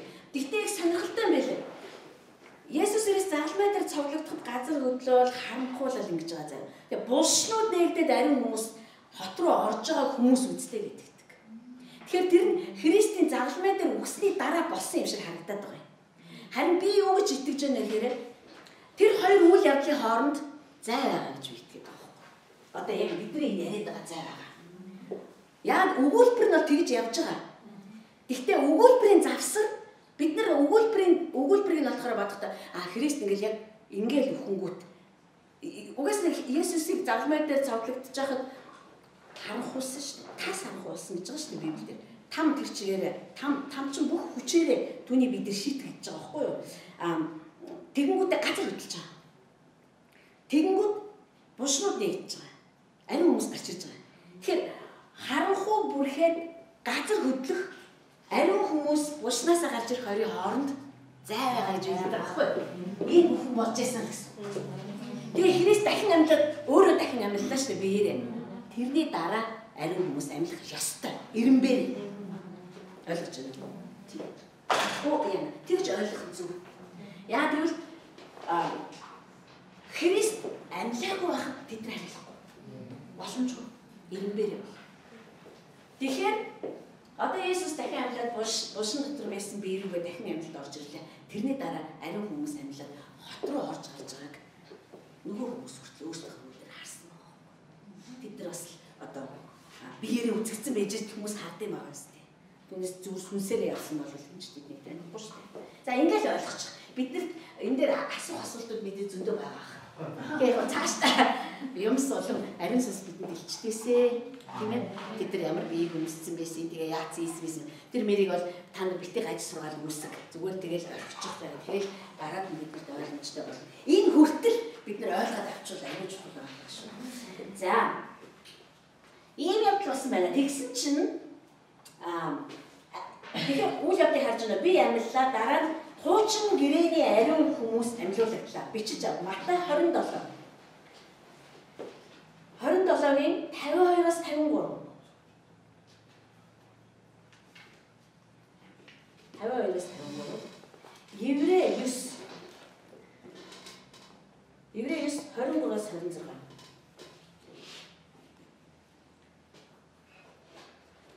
Еврей 9-ийн 23-аас 26, Иохан 20-ийн 17. Иохан 20-ийн 17.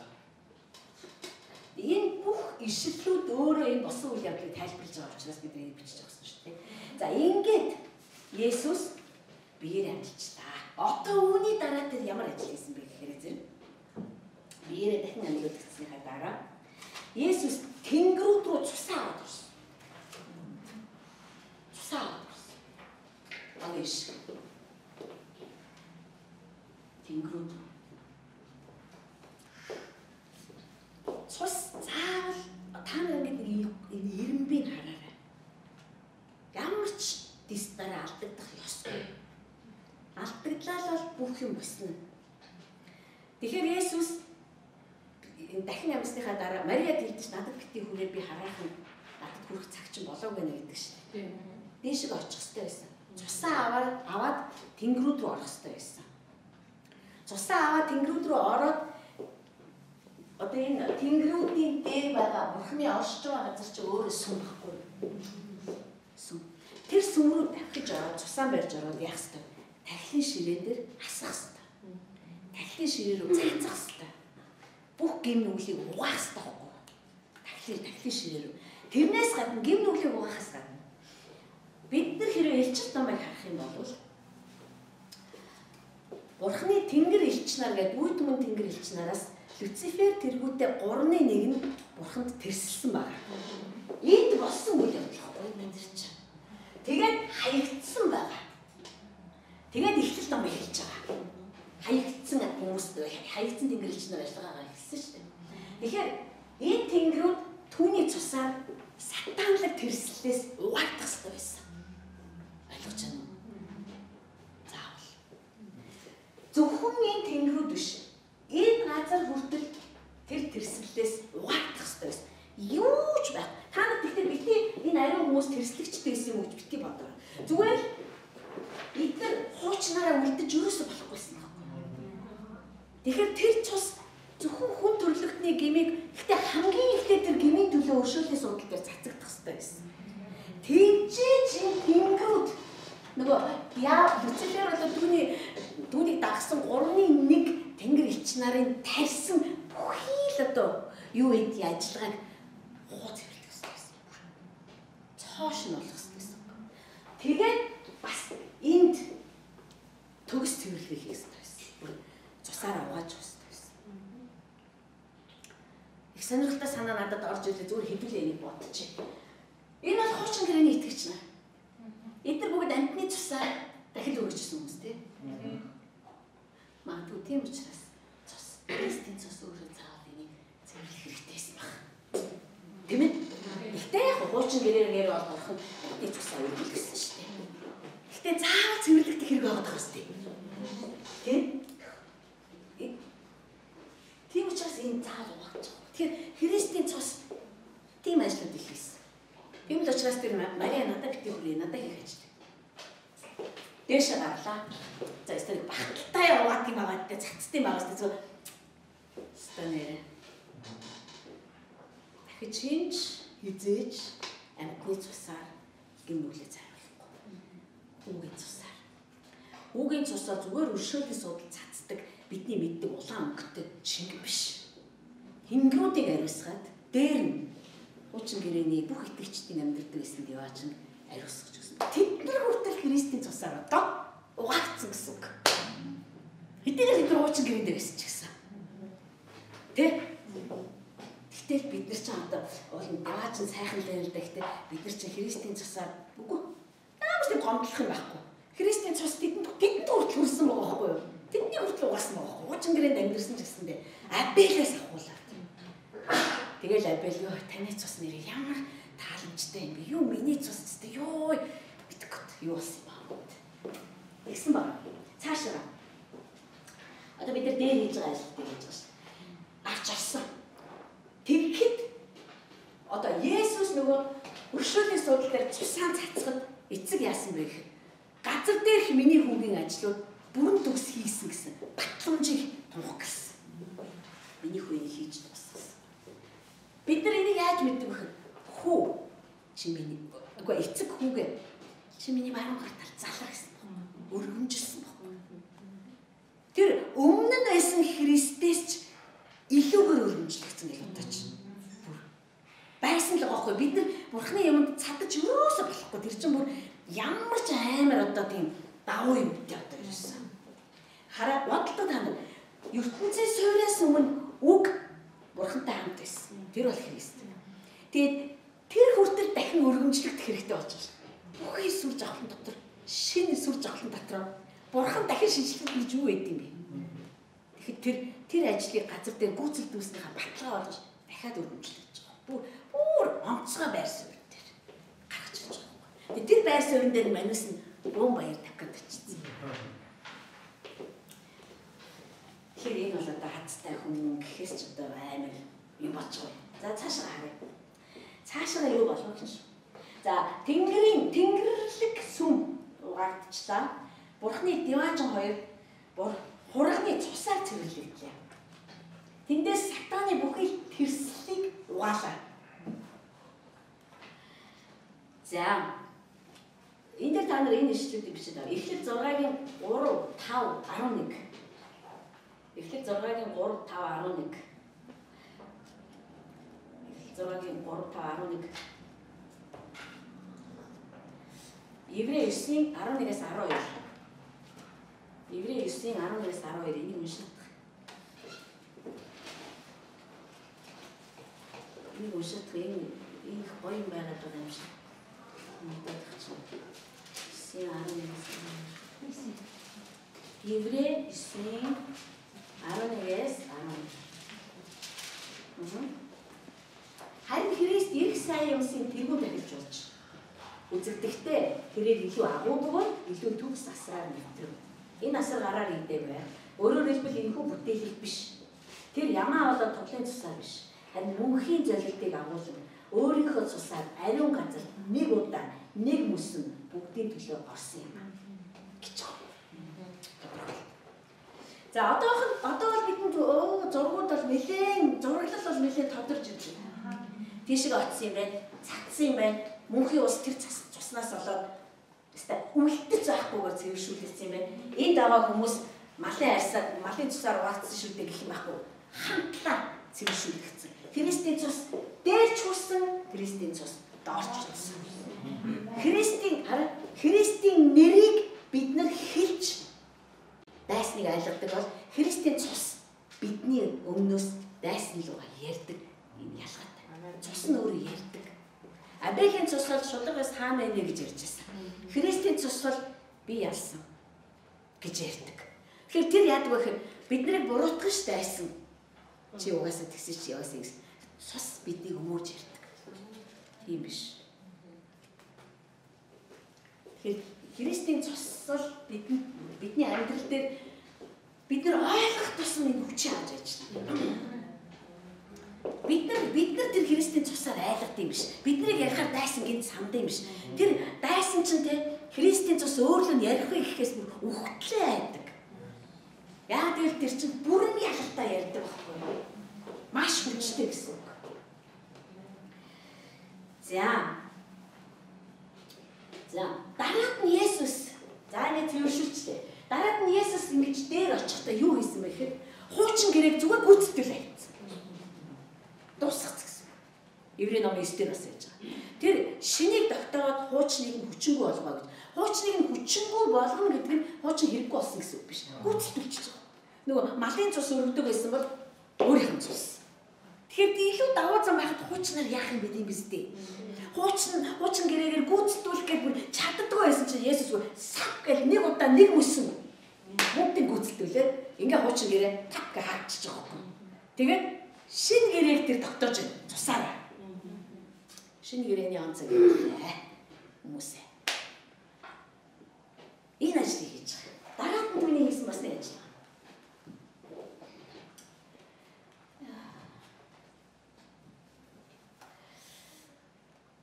Одоо энэ энэ дэр ишлэлдээ бичиж байгаа Еврей 8. Еврей 8:13.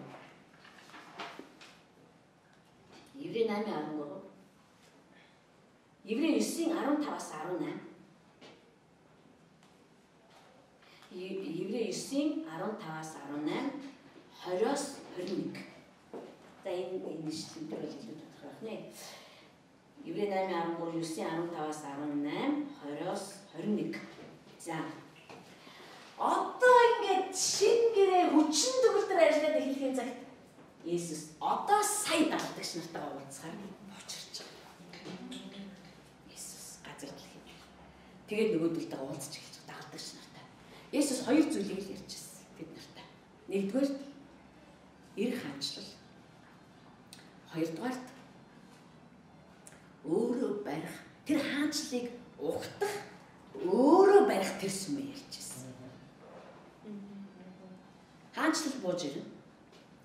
Нэгдүгээр. Хоёрдугаар тэр хаанчлалыг хэн угтаж авах вэ гэхээр сүм угтаж авах. Энэ амар чухал шүү. Яйгуу чухал. Хүн байж тээ. И тэр хаанчлал нэг хүн дээр ирэхгүй хөөе. Зөв хуваараа итгэж хүн дээр ирэхгүй. Зүгээр хээр ингээд ганцаараа малаа хариулаад бурхны хаанчлалын төлөө залбираад ингээд бурхны хэрэг хайж байгаа хүн дээр ирэхгүй. Бүр малыг хаюулаад заавал хаанчлалаас өөр атсарна. Тэгээ тэр ухтагч хаанчлалын сүмийн нэг хэсэг болгоно. Өөрийнхөө энд эргэтэн болгоно. Түүнээс тийм учраас өнөөдөр энэ тийм ганц хоёроор төөрж явах нь аюу аюултай. Хэний ч идэш болж болно. Харин эрх хаанчлал болоод түүнийг ухтах үүрэг хариуцлагатай тэр сүм тэр сүмийн нэг хэсэг баг. Энэ аюул чухал. Одоо бол харин сүм хизээнээсээ илүү хэрэгтэй үе. Хараа тэгэхээр энэ цаг үеийн маань одоо парадокс юу вэ гэхээр одоо хүмүүс сүмээ сүмийг орхиж явж байгаа. Эсрэг тесрэг байгаад тэд нар штэ орхиж олох үед нь орхиг орх үнэхээр орхиод явахаар хүртэл ялцрал байсан. Харин орхиж болохгүй үед нь хүмүүс орхиж байгаа. Яагаад гэвэл залхацсан бүр. Үнэхээр тэнд юу ч болохгүй байна гэж. Одоо хамгийн их хүн сүм рүү очих хэрэгтэй. Хамгийн их сүм баригдах хэрэгтэй. Хамгийн хүчтэйгээр сүм одоо амьд чулуунуудаа цуглуулах хэрэгтэй цаг. Яагаад? Яагаад хаанчлал гэж хамгийн ихээр хаанчлал сүм дотроо яригдах заагдах хэвээр сургагдах хэвээр апостолик иш үзүүлэг багш авралын зам. Одоо сайн мэдээ юу нэг нь хэмэлээ иш үзүүлэг пастор уу пастор. Энэ тав чинь ерөөсө бүх утгаараа ажиллах хэвээр бүгд энэ ариун хүмүүсийнхээ дотор энэ таван үйлчлэлийн шинжүүдээ хувь хуваар өгөх ёстой байхгүй ийм л цаг үе. Түс зүгтах цаг үе биш. Сүм залхаасан байж болно, сүм буруу явсан байж болно, сүм алдсан байж болно. Гэтэ сүмээс явдаг цаг бол одоо биш. Байдаг цаг байхгүй харин бүр зуурдаг цаг. Бүр энэ дотор өстө залбирал, малбирал хамаг мацаг барилтаа өргөөд үнэхээр энэ дотор хорогддог цаг чинь. Яагаад? Гэвэл эр хаанчлал зөвхөн сүмээр зарлагдаж, сүм ухтаж авах хэрэгтэй сум сүмээр дамжаад нийгэм рүүгээ тарах хэвээр. Ийм л зохицуулалт зохион байгуулалт, ийм л эмх зэгц, ийм л эренб дараа байна. Бурхан яг энийг л мушгин. Бид нар харах юм бол бурхан тэ Христийг өгч байхад ч ямар их эмоцэсгийг бид нар төсөөлөхгүй шүү. Тийм биз дээ. Түүний тэр үйлчлээ хийж авах үед тэр үе болон хүн үхсдгийг амьлуулж авах үеийн тэр их эмоц тэ тэр их хөдөлгөөн тэр их бужигнаа хүн төрөлхтө үзээгүй мөн үзээ бүр цамаа харасан юм дараад нь гівгэн цовдлж байгаа тэр байдал тэгснэ дахин амьлалт гэж үс зүгээр ингээл бүр ингээл хой салхи шиг юм болоод байгаа байхгүй юу. Одоо өнөөдөр дэлхий дээр янз бүрийн нэртэй хар салхи болдог үтээ. Тэрнээс ч амар юм болж байгаа шүү. Тэр бүх бужигнаан эмоц дотор хүртэл бурхан яг энэ эмх зэгц дотор л ажиллаж байсан. Тэр юусоо энийг зөрчөөгөө тэр ерөөсөө туйлын одоо тэр нямбай хിവэрэ туйлын одоо хий алдахгүй гэдэг шиг манайхан. Тэгж ажиллаж чадахгүй. Христийн амьдрал юу вэ гэхээр нэг талаасаа Бурхны хүү газар дэлхий дээр ирж амьдарсан амьдрал нөгөө талаасаа чи яг ингэж амьдрах болно гэж хэлсэн амьдрал. Чи яг ингэж амьдрах. Зүгээр л Есүсийн амьдрал тэр чиний шүзүүлэг байсан. Энэ тоо бид маргааш. За, ирсэн. Дагалдагч нартаа тэр нэг өдөр байгаагүй, хоёр өдөр байгаагүй. 40 өдрийн турш яг энэ хоёр сэдвийн талаар ярьсан ба. Заасан байгаа, сургасан байгаа. Бас нэг гайхалтай зүйл нь Есүс тэдэн лүү ариун сүнсээ үлээсэн ба. Одоо өөрийнх нь дотор гэж байгаа шүү. Үлээсэн ба. Би энэ шилийг нээж.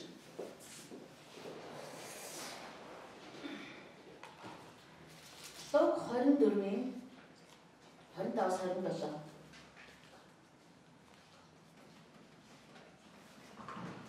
Луг 24-ийн 25-27 44-өөс 49 24-ийн 25-аас 27, 24-ийн 44-өөс 49 гэсэн үг шүү дээ. 44-өөс 49. За, үеэс 1-ийн 3.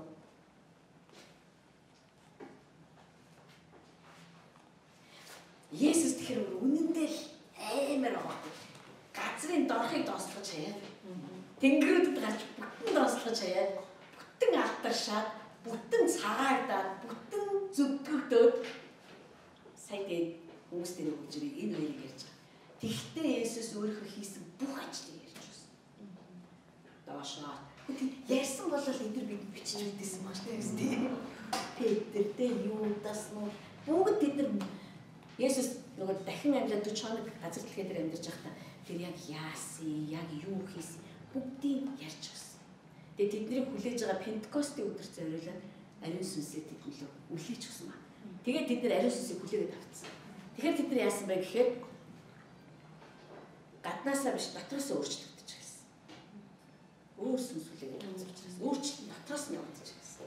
Энэ бүгд таавдахаар амьдрал бид нар дээр ч ингэж явагдана. Дотроосоо л өөрчлөгдөн. Хүн гаднахаа мянга засаад нэмэргүй гэдэг хуучин гэрээ бидэнд харуулсан. Нэмэрвэ. Чадах ч уу та. Харин ариун сүнс орж ирээд хүн дотроосоо өөр болно. Дотроосоо өөрчлөгдөж. Ингээд Есүсийн дагалдагч нар бүгд дотроосоо өөр болж гисэн. Одоо зүгэл хідүүлээ. Есүс Христ одоо яг бүтэн утгаараа хэн болсон бэ гэдгийг тодорхойлон бичиж байгаа. Үүний өмнө та нар Иохан 20-ын 19-с 22 гэдэг нь хэлж Энэ бас л яг бидний ярьж байгаа зүйлтэй холбоотой. Иохан 20-ын 19-с 22. За. Есүс Христ бол гэж явлаанаар хэлсэн байна. Есүс Христ бол зөвтгөгч. Гэхдээ зөвтгөгдсөн нэгэн. Зөвтгөгдсөн нэгэн. Цагаатгагдсан нэгэн.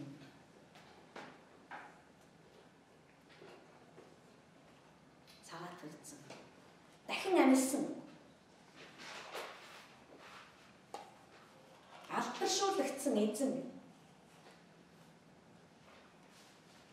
Есүс Христос зүвтгцэн, цагаатгагдсан, дахин амьсан, алдаршуулгдсан эзэн Мелхиседекийн хэрмийн дагуух төгс Христ.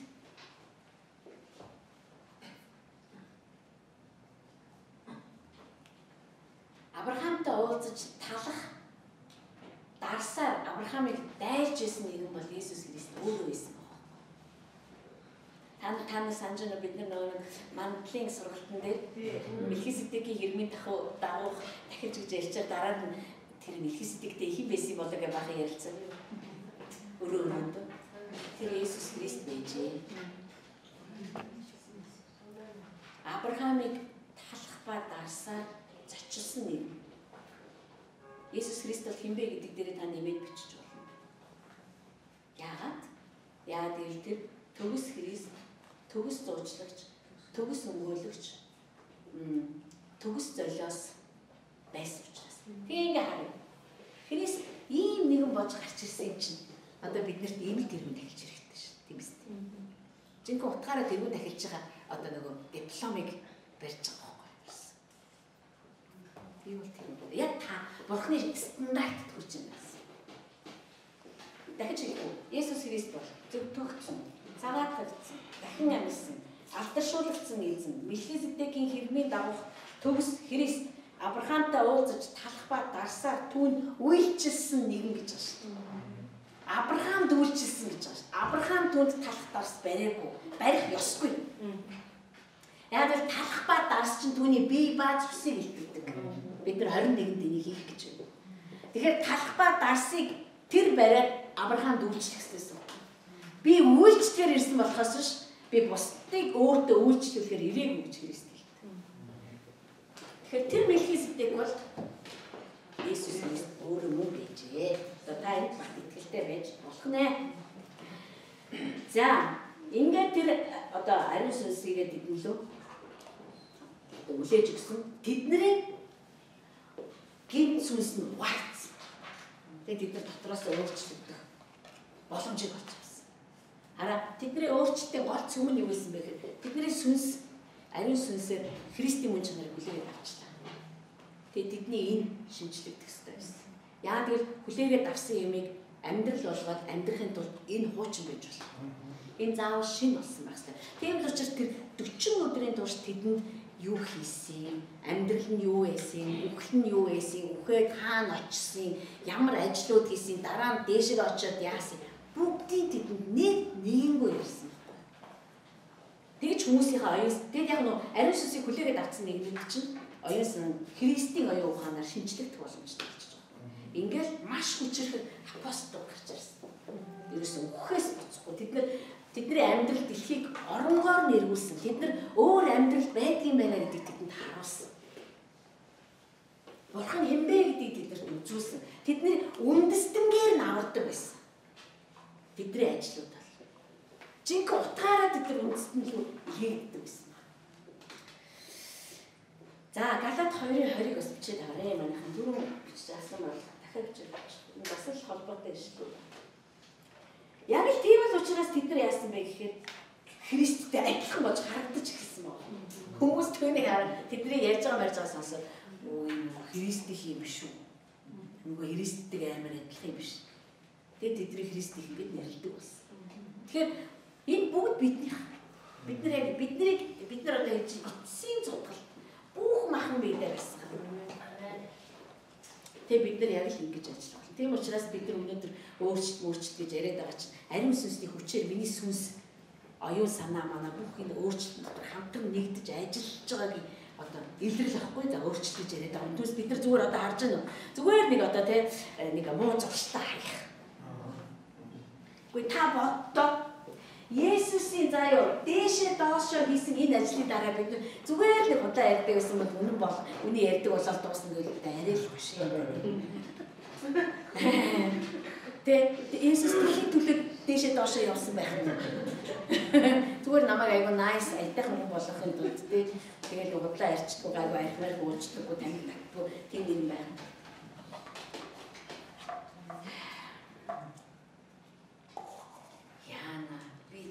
Чадсан гэж боддог. Амен. За. Ариун сүнс танд үнэхээр талархаж байна. Тэгэхээр тань руугаар энийг хийж чадахгүй байхс. Ариун сүнсээ таны хаамжтай бүгдэн авах тийсэн. Олон олон сүмд байгаа. Үнэхээр та биднийг энэ мэдлэг дотор улам өсгөөсэй. Бид нар үнэхээр таны дотор тэр тэргүүн болох Христ рүү үнэхээр хамтдаа баригдахыг хүсэж байна. Энэ дэрэгдэж байгаа бүх зүйлсүүд энэ сонсож байгаа ярьж байгаагийн зүрхэнд бүр хамглагдаад бүр ариун сүнсээр баталгааж болтгоо гэж би хэлж байна. Баталгааж болтгоо. Бүр амьд илчлэл болж орж ирэх болтгоо. Хэрэгтэй бол зүрхийг бүр хүч хөндөг болтгоо. Христийн ормыг бид нар биедээ тээж явах болтгоо. Амен Түүний тэр ялгуулсан орн, түүний тэр зовж чадсан тэр орн, авч чадсан тэр орн зүгээр сатаныг ажил руу болгож чадсан тэр гайхалтай үл одоо тэр үлдэц тэр бүр ажлын нөлөө бидний амьдрал дүүрэн байгаасан. Танд үнэхээр баярлалаа. Ер бусын шахагдшгүй баярлалын төлөө тандад талархаж байна. Ер бусын гайхамшигтай хоолны төлөө тандад талархаж байна. Хаанчлалын тэргүүлэгч өдөртөгч нарыг та гаргаж ирээрэй. Нэг шугамн дээр зогсоод нэг игнэгээр игнээ алдахгүй чагсдаг. Тэгээ ерөөсөө нөлөө нь бүр үл үзэгдэх аргаар бүхий л нийгмийн салбарууд руу нэвчиж чаддаг. Тийм айрын та түүнийг босгож ирж чадна. Зүгээр таны хийсэн ажлыг харахад бид нар үнэхээр чадах юм байна гэж бүр итгэл төрж байна. Та аргагүй тэнгэрүүд хийгээд газар газрын доорх дэлхий хийгээд дэлхийг дүүргдэг бүхнийг эзэмшдэг нэгэн бол яхаа муу юм байна. Учираас бид нар дахин амьсан Христ шин гэрээг эхлүүлсэн тэр Христ цэвэршүүлсэн цусаан үнэхээр бариад орсон тэр Христийг бид нар алдаршуулж байна. Хайр давагч тандаа үнэхээр талархаж байна. Бид нар танд үнэхээр хайртай. Таныг улам хайрладаг байхыг хүсэж байна. Энэ бүхний би Есүс Христийн нэрээр ярьж байна. Амен. Амен. Зүгээр би юундэ баяр.